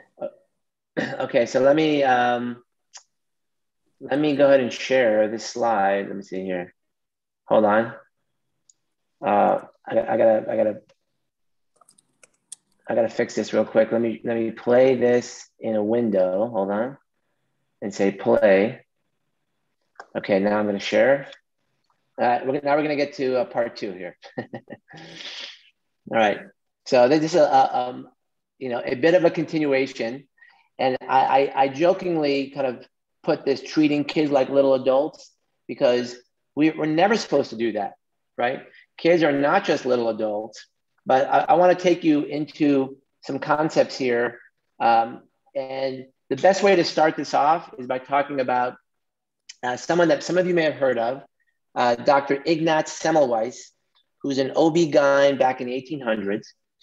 And it turns out that he found out that when he was examining these pregnant women in his clinic, him and his colleagues in the same clinic, within weeks they were dead. And he he did something that not many people do. He started collecting the data and he, he finally put the pieces of the puzzle together to get to this, which is he had two clinic days, Monday and Tuesday.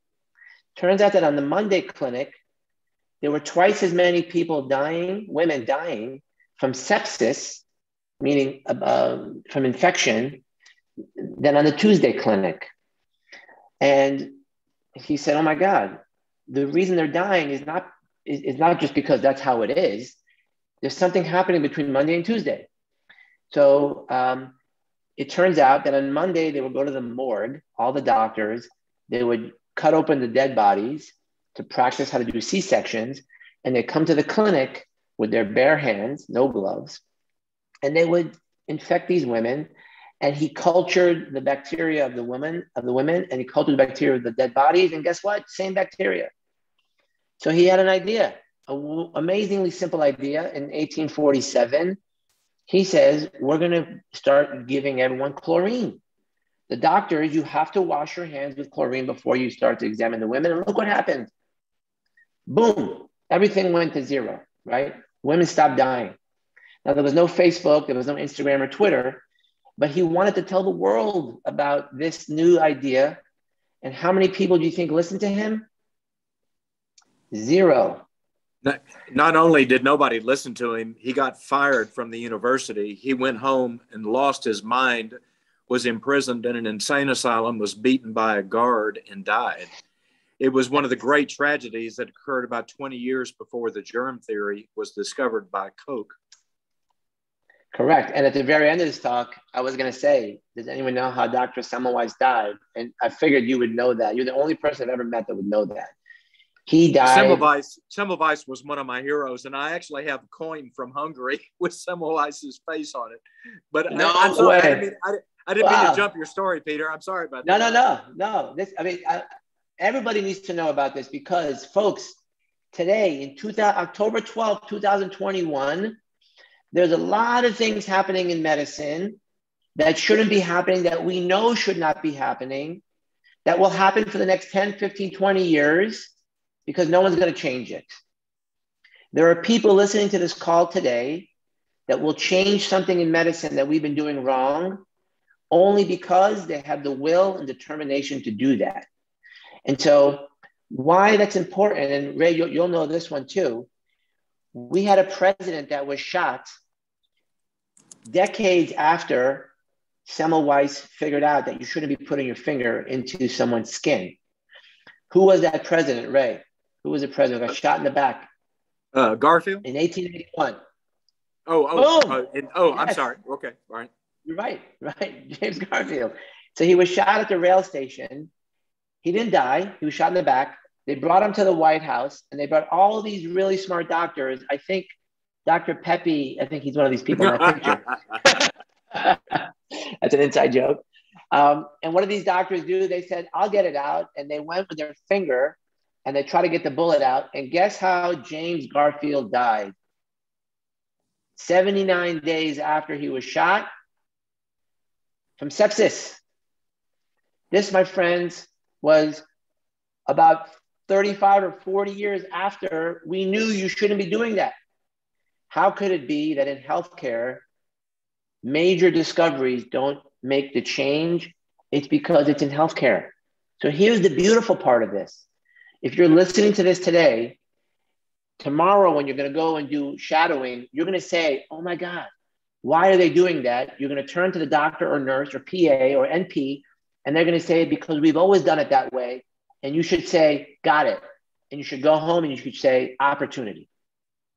If you see something so screwed up that someone says, we've always been doing it that way, that's your opportunity. Walk through that door. Okay. Go do the research, change it. Right. So if I if I make you the city manager and tell you that on this road in your neighborhood, hundred people die every year, what would you do? And a lot of you are probably thinking, let's put some lights on. And so if you do put lights on this road, here's one thing you have to do. You have to go back the year later and see if the in- intervention you did changed anything.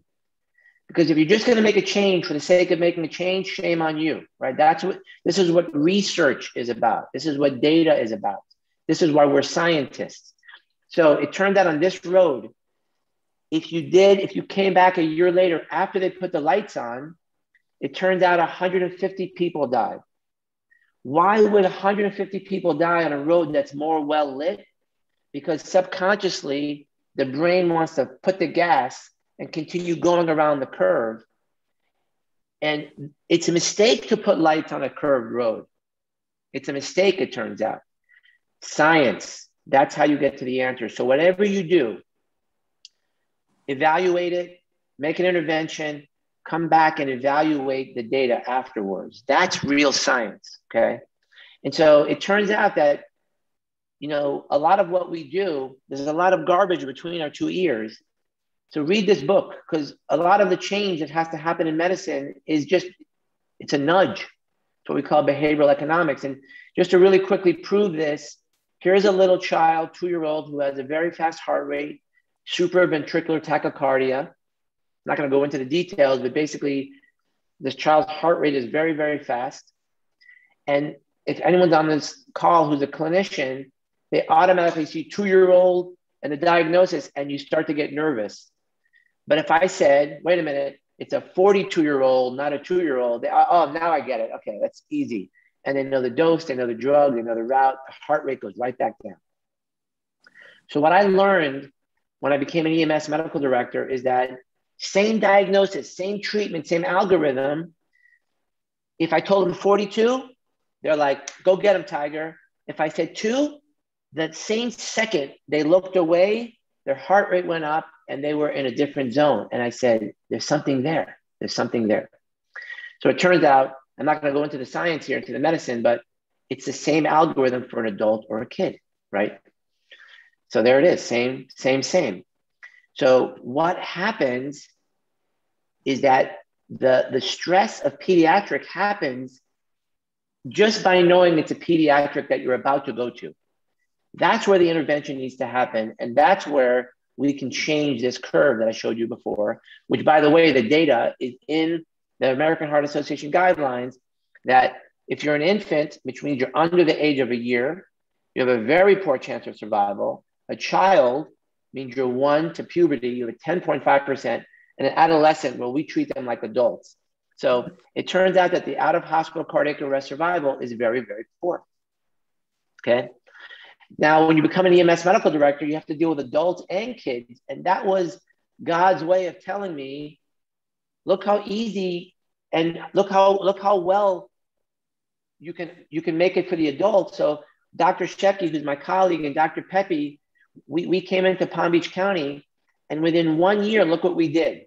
2014, this was the, the, the rate of getting pulses back. We got the job in 2015. Within one year, we doubled it. Why? It's adult, it's easy, it's simple, right?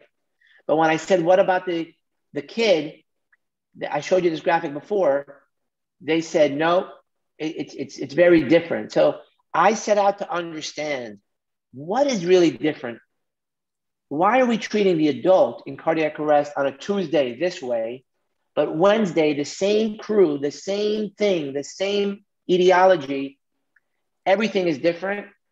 Well, it turns out it's all behavioral. It's all behavioral, it turns out. And so um, it took me many years to understand this problem.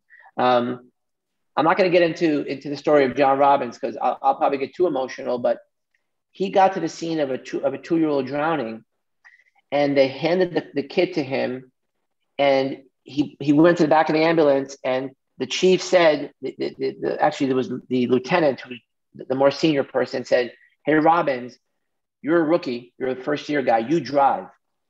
So he gets in the front of the vehicle, starts driving. It was a gated community. He made a left and a left, dead end. He passed the house.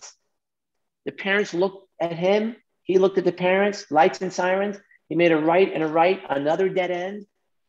He passes the house a second time. He finally gets out of the neighborhood. He gets to the, to the ER and they ended up calling the code right in front of him. And he ended up leaving the scene, leaving the emergency department crying, never told a soul. And he ended up over the next year trying to uh, kind of figure out what was going on with him. He went into alcohol. He thought about killing himself and doing su- and committing suicide. Um, and that that was a, and he never told anybody for many many years. So what I learned from from him is something called the arrest life cycle, which is where if we're not good at knowing what to do before we get there and doing and, and then doing it right on scene, we'll never get to the most important part of what we do, which is called closure. And I'll talk to you about that in a minute. Um, you know, for the 65 year old, before we get there, we know what to do. For the two year old, we don't because we never were taught that way.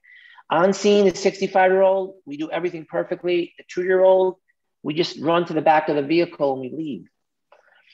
So then they give us something called the debrief, which is to try to make us feel better. But it turns out if you didn't do these two quadrants the right way, there's nothing I can tell you that'll make you feel better.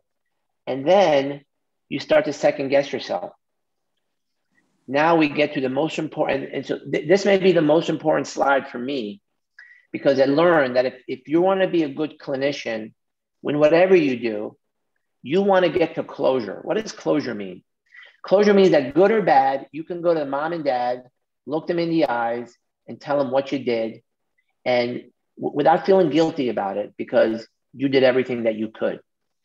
If you didn't do it right, it turns out you'll never go look them in the eyes. You'll never want to talk to them. And then that's a little fire burning in your in the, in the subconscious mind.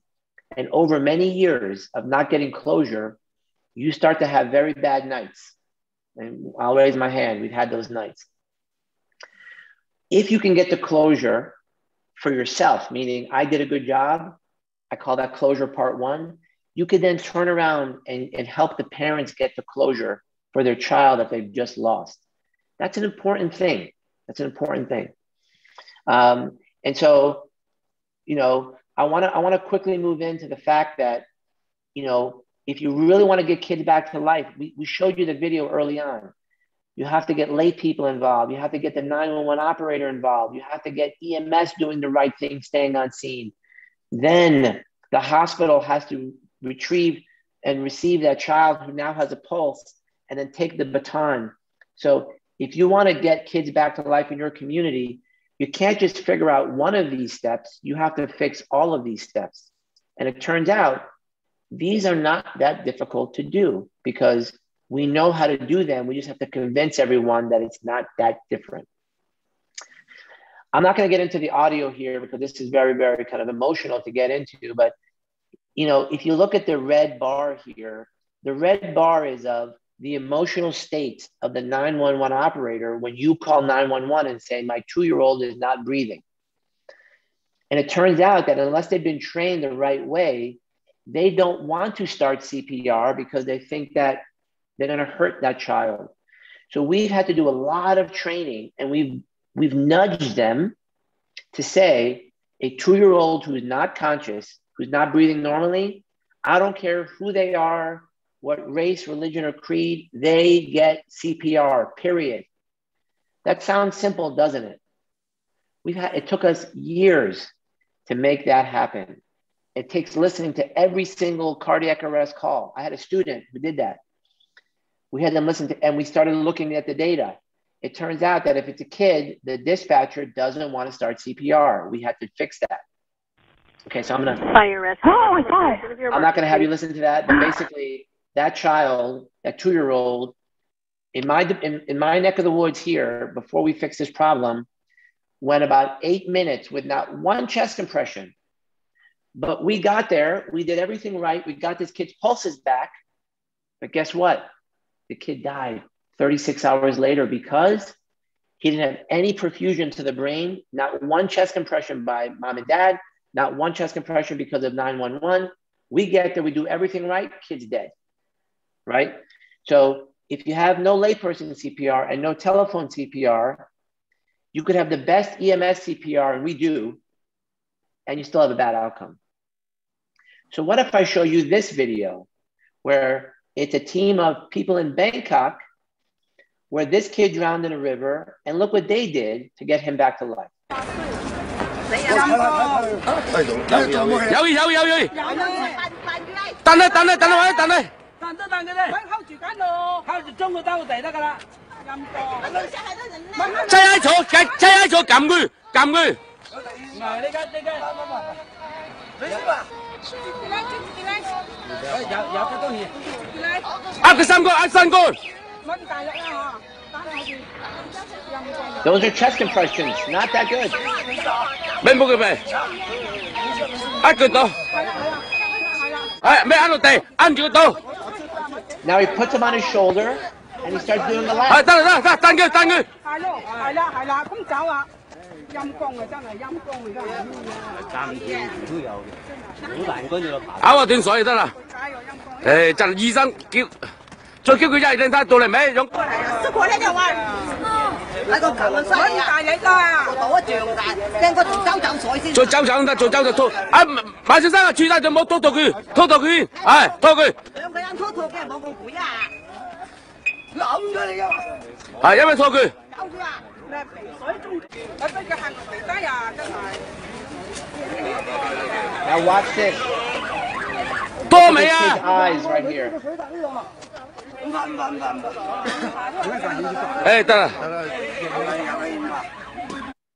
Okay, so I'm, it's funny. I'm looking at the chat and I'm seeing people saying, "Oh my, this is crazy." But guess what? They got this kid back to life. They got this kid back to life. Why? Because the little boy in Palm Beach County that you that I, I didn't have you listen to the audio for, he got nothing, zero. It turns out that by putting someone on your shoulder and doing something is more important. So we teach all this thing 15 to 2, 15 compressions and two breaths if you're two people. And so maybe we should change it. Now, it should, maybe it should be 15 compressions and two laps. we should change it to that. but all joking aside, what did I learn from this? That in America, there's a lot of kids dying before EMS even has a chance to get them back to life, right? Big problem, big problem. So this kid got no EMS CPR, no telephone CPR, really crappy layperson CPR, but we have a Mark Zuckerberg thumbs up, right? I'm not a Facebook fan, by the way. So it turns out that Houston, we have a problem, but that's how we've always done it, they say. That's how we've always done it. Oh no, oh no. Well, people like Mike Levy out in Anchorage, Alaska, and Ben Bobrow and the people from the Resuscitation Academy in Seattle said, we need to fix dispatch and they and they did. So now, you know, the question I have for you is, which is better, no CPR or any C? Well, it turns out any CPR is better, and maybe the way that we train people in CPR is completely wrong today. Today, October twelfth, twenty twenty one. So why is bystander CPR important? Well, there's data, and the data shows this is from Korea. Your survival from no no bystander CPR is not good if 911 telecommunicator gets you on the phone and convinces you it's better if you're in seattle and you see someone not breathing and you're and you just start doing cpr without calling 911 well look you can quadruple your outcomes just by doing the right thing so that's why seattle has the best outcome it's not because their paramedics are better than anyone else's, it's because the system is better they train better they're doing it right they have everything correct so this is what we call now no, no, go. Very simple. The dispatcher, when you call 911, after they ask you some basic questions and they find that there's a problem, they say, is the patient awake? Can you wake them up? No. Are they breathing normally? No. No, no, go. Start CPR. How long do you think that should take? Most people would say that should take 10 seconds. Would you believe we looked at our data? Again, I'm going back to the data because we reviewed every audio for adult, pediatric, didn't matter. We were at five minutes to getting hands on the chest. So we measured. And then we stole that no, no, go, and we put it in. And we saw the numbers come to four minutes, to three minutes, to two and a half minutes. We're only now at two minutes. We can't get below two minutes still. Hands on the chest, right? But we continue to measure, we continue to improve, we continue to measure, we continue to improve. This is a marathon. So the American Heart Association in 2015 said, you should recognize arrest, which is the two no's. Are they conscious? Are they breathing normally? No, no. That should take a minute. And then you have another minute to get them to start doing chest compressions.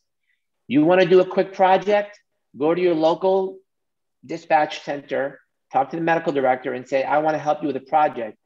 I will buy you dinner if it's under two minutes, hands to the chest. Guaranteed it's not under two minutes. We can do better. Okay. There's data. There's a big registry now called the CARES registry. So what do we do now? We input the data of when did they recognize, when did they begin instructions, when did they do first compressions. Now someone created a registry the folks out of Atlanta, Emory University. Th- these are people who said we have to do better. They created a registry. This is how we've gotten better, right? By collecting the data. And now every quarter, I get a report from my neck of the woods on how my dispatchers are doing. I commend them, we honor them, we bring them chocolate. This is a this is how you get better. It's not just by saying go follow the protocols.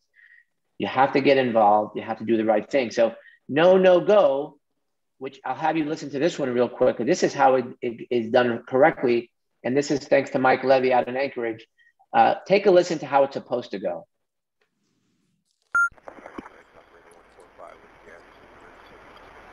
Uh, 8110 Genesta Avenue. The house or apartment? The house? Yeah, showing calling from 818-343-0809, is that right? Yes. And what's the emergency? Uh, my mother's not responding at all right now. Are you with her? She, yes. Is she awake? No. Can you wake her up? No. Is she breathing normally? No. Okay, did you get her on the ground. We're going to start CPR. Okay. Perfect. Perfect. So what I recognize as an EMS medical director is that all of my adult calls, we were doing that. Boom, beautiful. All the pediatric calls, we were doing that. And I scratched my head and I said, let's go fix it. Right. So this this required further investigation and understanding. And if some of you know Bode Miller, uh, Olymp- Olympic skier, this audio allowed me to learn because I when I heard this audio, I said, wait a minute, that's the same thing happening by me, which is they started CPR, but then they found a reason to stop CPR. So take a listen to the call taker, did a great job starting CPR. Then the dad, not a doctor, not a nurse, not a paramedic, said, I, Oh, I feel a pulse. And they stopped him from doing CPR, and the kid ended up not making it. Take a listen. You breathing? Here. Here, hold on. Is this in Coto de Caza? Yes. Yes, hurry. Hurry! All right, paramedics, what's the address of the emergency? Um, Big- What city? Dakota Dakota. Okay, what's the emergency there? Uh, uh, Morgan. Morgan. What is the emergency there? Get him. Get anybody. What is the emergency? Fell in the pool. The baby fell in the pool. No, don't stop him. When she's Okay, paramedics are on their way. What's the phone number if they need to call you back? Baby out of the water? Yes. Okay, how old? Um, 19 months. Okay, is he breathing? No, a little girl. Okay, do you, is somebody there that knows how to do CPR knows how to do rescue breathing? Trying. Okay, does she have a pulse? Um, she's. Come on, keep going. Okay, does she have a pulse? Her pulse. Okay, are you doing CPR or do you need me to coach you through it? Wait, coach me through it, please. Okay, get the baby on a firm, flat surface. Yes. I know CPR. I, I, I, I, I have a small pulse. I have a small pulse. It- okay, if she's got a pulse, do not do CPR, okay? Tilt her head back and open her airway and see if she's breathing. Okay, everything you just heard there is completely off script. We don't ask if they have a pulse. We don't depend on the father to tell us if she has a pulse. And so, what I learned is that every single call where we started CPR, within seconds, the call taker stopped them to recheck the kid, and we never restarted CPR. So, it turns out that in the pediatric telephone CPR problems, A, they don't want to start. When you can fix the starting problem, you have the stop problem. So we had to figure that out. And we only figured it out because we put the work in and we listened and we learned and we kept listening. Um, so, it, you know, it, it turns out that the layperson CPR is hard to do. Telephone CPR, not so hard. EMS CPR, that was the next thing we had to fix. Um, not so hard to do either. And then the hospital, you got to bring the kid there alive before the kid's even going to make it. So, what we learned about EMS was something very basic was that you had to know what to do before you got there. And when you got there, you had to just do what you did for the adult. So when I say treat kids like adults, yes, kids are different. Their head is bigger, their airway is more anterior, their, you know, the surface area is different. There's a lot of differences. But the way that you handle them, the way that you run your CPR, your resuscitation should be the same exact methodology as the adult. That's what I'm talking about. When I say treat them like adult, the yesterday code for the adult, treat the kid the same way. And we did it. We figured it out. How did we do that? take a listen. This is how we practice in route to the scene. This was the golden egg right here. Just telling them what to do before they got there. This was the key that that that still today p- people don't seem to quite understand the magic of happens before you get there. So take a listen. Let's first talk about pre-arrival. Before you enter the scene of a pediatric arrest, you have to be mentally ready. Hey, listen, it's a seven year old, looks like a drowning. If it's an actual cardiac arrest, you're gonna be airway, you'll be CPR, I'll be monitor and drilling, all right? Uh, since you're airway, your king's gonna be either a 2.5 or a 3, depending on what size it is, but it can go either or, all right? Okay. Uh, defibrillation, the first one's at 50, the rest are at 100. 50 and 100, the rest are uh, the rest. Are the rest. The EPIs are 2.5 mLs, and if they are in fib or they're in VTAC, we'll do amiodarone and it's 2.5 ml as well. All right, I'm gonna drill them right.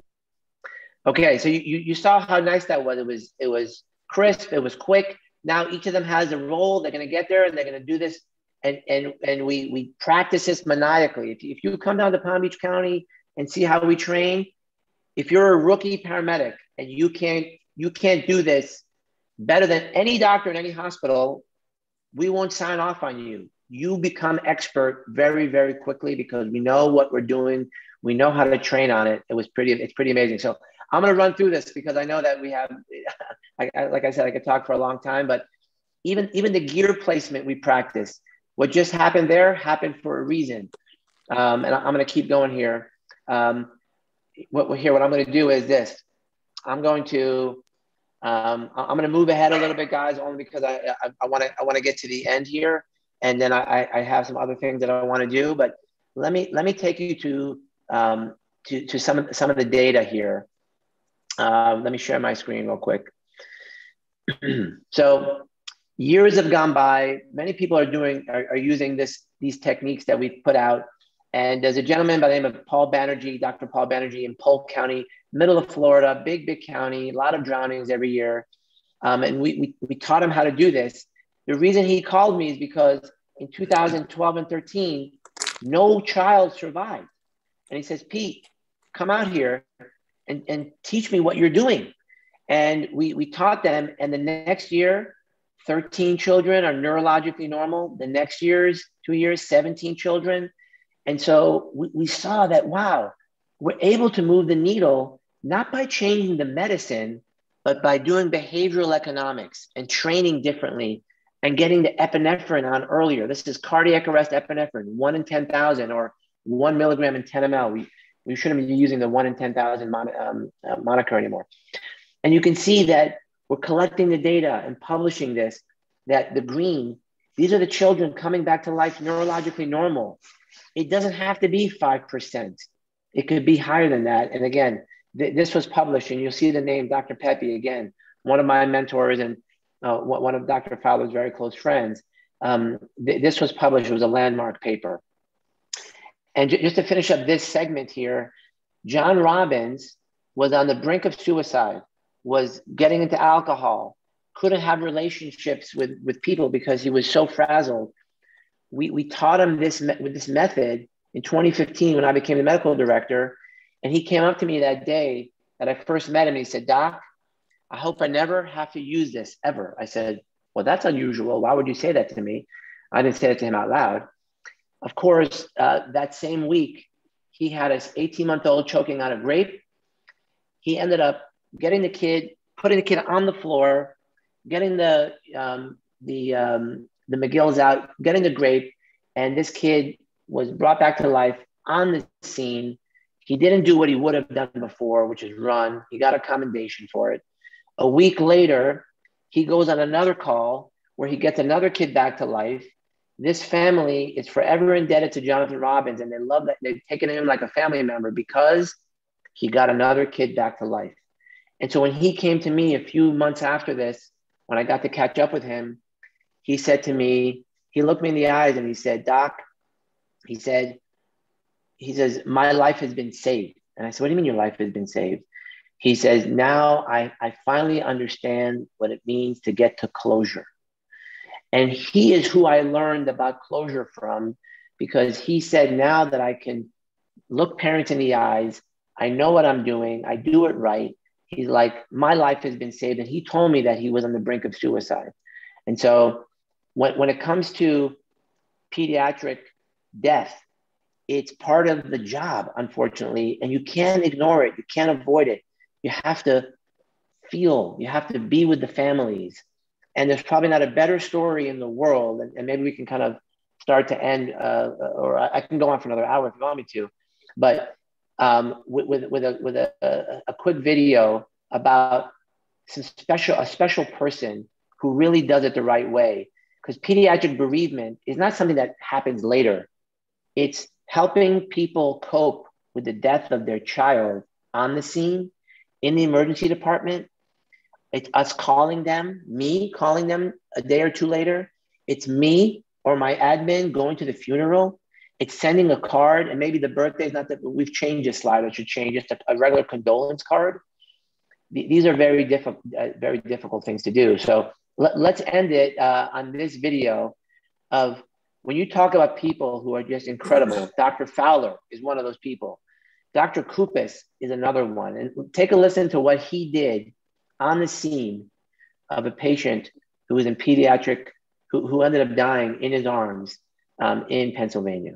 But with the this one case, so we got to the point where it was futile. The grandfather wanted to be with the child as we stopped. And as we were walking to for him to be with the child, he said, "She hasn't even been baptized yet." Well, I can we can do that for you. And he said, and he was like, his eyes just lit up. He's like, "Oh, could you?" And so, sure. So I went to the kitchen. I got a little cup of water, and he was there, and we were ready to terminate. Um, but before termination, I did the baptism and and then we did the field termination and wow. basically what i did i you know got some of the water put my hand with the water on it the baby's head and said you know i baptize you in the name of the father son and the holy spirit. And then after the baptism with the grandfather there we stopped. The child was in asystole it was clear they were in asystole um, we gave it time of death and that kind of thing. Let him spend a little time just sort of holding the child's hand and holding the child. You know, in the aftermath, we have our people all trained to do things like, you know, obviously call the coroner. We also have them trained to, you know, ask ask the folks, is there anybody we can call for you to help support you? Uh, you know, a neighbor, a pastor, or whatever. Mm-hmm. A lot of times we call the pastor, that kind of thing. Mm-hmm. In this case, the grandfather, after things settled a little bit, said to me, "Can we get a baptism certificate?" And I said, "Oh, absolutely." Not mm-hmm. having any clue where I was going to get a baptism certificate. But I'm like, oh, absolutely, you know. Mm-hmm. Then I called uh, from the scene to to let their pastor know. I called their pastor, and the guy was on vacation. So then I go back the next day. I call our chaplain service in the hospital. Um, and the the woman that um, is like the receptionist and admin for the chaplain service at the time had spent i had known her for probably five years as one of our desk clerks in the emergency department and and i said i've got a crazy question for you but i you know i did this baptism and i need a baptism you know where do you guys where can i get that and she said oh dr kupas that's no problem at all and i didn't even think they do it in the NICU all the time. Professional with a little like gold yeah. trim. Um, she said, "Yeah, I can. You know, give me the name and stuff. We'll print you out a certificate." Uh, it's a relatively small town. At one of my several years later, at one of my um, kids' science fairs, um, the mother of the child was there, and. Oh. Uh, came up to me and thanked me so much and told me how much it meant. Like, you know, a couple years later, she mm remembered and, and specifically was touched by having that certificate of baptism for their uh, daughter. I think I think there's no better way to, to, to end to end that uh, right right there because that epitomizes why we do what we do, why all of you are here today, why you want to go into this field of healthcare and medicine is to be that person when nobody's watching, when no one's going to hear the story, but you but you do things because you care. You're a servant of the people, and uh, we're privileged to be in this position. Um, I'm very fortunate to to to be in the position where we can now help lives all around the country and hopefully one day all around the world. Uh, but it's uh, it, it's that it's that drive that I hope all of you have inside of you to do that special thing one, one, day in your career. So uh, thank you guys for having me, and um, I look forward to more Q and A. Peter, what a wonderful story. I mean, you got this old man crying over here. Good grief. And of course, knowing Doug Kupas, folks, uh, the man you just saw speak is the EMS medical director for the entire state of Pennsylvania. And so, one of the true leaders in the history of our field. Peter, that was just the whole presentation was magnificent. You got, um, are you up for just a handful of questions? Oh, yeah, absolutely. Yeah, I'm yours. Cheyenne, take it away. Yes, sir. So we have a few over here. So um, I guess one of the questions that might uh, be related to what we were just discussing um, is there any overlap between pediatric and neonatal emergency care? Oh, absolutely. Um, neonatal emergency care. Remember that there's a there's a different set of guidelines for for for the newborn uh, for the neonates. Uh, so maybe, in other words, um, you may have a different ratio of, of how you would resuscitate them. Um, the principles are effectively the same, but obviously they're shrunken down quite significantly. So there is an entire specialty dedicated to those children. So, for example, in the emergency department, I'm never in the delivery room uh, resuscitating a newborn. However, if that child goes home and on day four or eight or 10 decides to not do well, then I surely am resuscitating a newborn, right? Um, once you got once you get down to the really preemie children, the children who are born preterm, underweight, uh, it, it's again there's there's different things that you would do based on if it needs surfactant. Uh, you may put a different type of central line in. Um, you know, however, the principles of resuscitation uh, don't change globally. However, they do change because of the fact that um, the children are smaller and we, we may do things a little bit differently. But the answer is if you want to go into that field, you would do three years of pediatrics and three years of neonatology. And then you would be that person in the neonatal ICU handling the tiniest of the tiniest. Personally, I'm not built for that. Uh, but there are many people who would never leave that space to come to where the bigger kids are. Yeah, right. great question. Sure, thank you. Um, and so, uh, another question uh, that some of our students is wondering or wondering: um, uh, How does the path to pediatric surgical oncology look? Um, uh, what's the mm. pathway to that field? Yeah, so sur- pediatric surgery is entirely different, right? Uh, you have to go through the surgical subspecialties to to end up in pediatric surgery, and then an offshoot of that in an additional year or so, maybe or so of, of, surgical oncology. So, although there are many pediatric surgeons who will, will do onc cases as pediatric surgeons, but the bottom line is, is that your, your route into pediatric surgery is through surgery, not through pediatrics. So, um, and people do pediatric surgery. I mean, they, they, they tend to be just incredible people from um, their clinical acumen to their, um, their, their, dexterity, their bedside manner.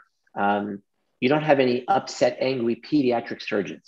These are the nicest people you will find who are um, just amazingly skilled. So, in my opinion, that's the cream of the crop in surgery is pediatric surgery. Thank you. Uh, and I'll leave you uh, with this one last question here so I don't take up too much of your time. Um, but this last question here is uh, did you happen to notice issues in medicine like this when you were in medical school? Uh, this, as in, you know, the uh, uh the whole, you know, system you know, as a whole. Mm-hmm. Uh, yeah. Or uh, did you ever get to witness such a change in the system with the attendings before you began your journey? I surely have had many mentors, but I, but I, you know, um, I will tell you is that um, it took me a while to learn that I think differently and that actually maybe that was something that I could use in the real world, right? Um, and so when I was in Grenada, I remember putting together these study guides that no one had ever seen a study guide like that before. And next thing you know, everybody was buying them from me. Uh, I mean, for the cost of the printing, I wasn't selling them, kind of thing. Um, and it didn't even hit me then that. Uh, so over time, I had zero confidence. I started gaining my confidence. And then one day when I, after I created this Handtevy thing, only years later, once I recognized that, wait a minute, people aren't believing in me, but I, I truly do believe in myself. And then it turns out now, in retrospect, that things that I was doing were right. Now, as I gotten older, I can look back and say, hey, you were like that before. Um, now, now I just understand now when I see something and it, it seems like a winner to me. Uh, so there are a lot of things that I'm doing now that we haven't talked about that if it hits me in the core that I know it's right, I'll go after it and I'll do it. And turns out most of those times people think I'm crazy. And when I hear people thinking I'm crazy, I say, time to put the gas. Because now I know the pattern of no one's doing it. I think it looks pretty cool. I'm going to keep on doing it. So now, now I know that pattern. Um, and um, now I'm using it to my benefit. So uh, you have to learn about who you are and what you do, I think, over time. That's how I would answer that question. well, well, well, Peter Antevy, what a wonderful talk. You know, you've we've been so blessed. You're our 73rd speaker, and you are the top of the group, man. That was just terrific. So moving. Oh, thank you. thank um, you. Peter, um, we'll place this online, and okay. probably 5,000 people, uh, healthcare professionals, will watch this.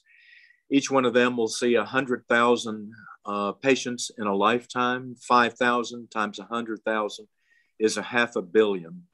Peter, with this two hours you were so kind to give us tonight, you touched a half a billion lives. And I hope that that gives you a sense of warmth and also a, a tiny, a tiny fragment of the gratitude we have for you being with us. Uh, I would well, like well, ask, every, I, I, would ask wait, everybody before put, before you yeah, end. Yeah, yeah, yeah. We're, we're not, we're not before. Okay. Okay. I want to ask everybody okay, go to ahead, put. Go ahead. Yeah, I want to ask you everybody to put thank you, Dr. Antevy, into the chat so he can see hundreds of you saying thank you for your wonderful, wonderful presentation. So there they are, Peter. They're uh, letting you know what they thank thought you. about this wonderful, wonderful thank wonderful you. Appreciate it. Thank you. Um, thank you. And um, so, uh, Cheyenne, give this and then turn it right back to me when you're done. Sure, of course. So, uh, as always, we do have our post session uh, assessments here. This is assessment number 73, and that's the QR code for it. Um, a link will also be sent to your email. Uh, so this will be due October 19th at 6.59 p.m. Central Time. You'll have two attempts and you must receive a score of at least 70% uh, in order to receive the credit for attending. So, um, well, thank you, Cheyenne. And uh, Peter, on behalf of the whole working group of virtual shadowing, we again want to thank you for your grace and your kindness of coming to us tonight and, and giving us this marvelous message. Well, everyone out there, thank you for being here, all 250 of you that came tonight. Um, uh, we're going to keep being here if you keep coming back. So, on behalf of Dr. Antevy and the whole virtual shadowing team, we want to wish you a good evening and a good night. Thank you for coming. Thank you guys so much for having me. You guys are incredible.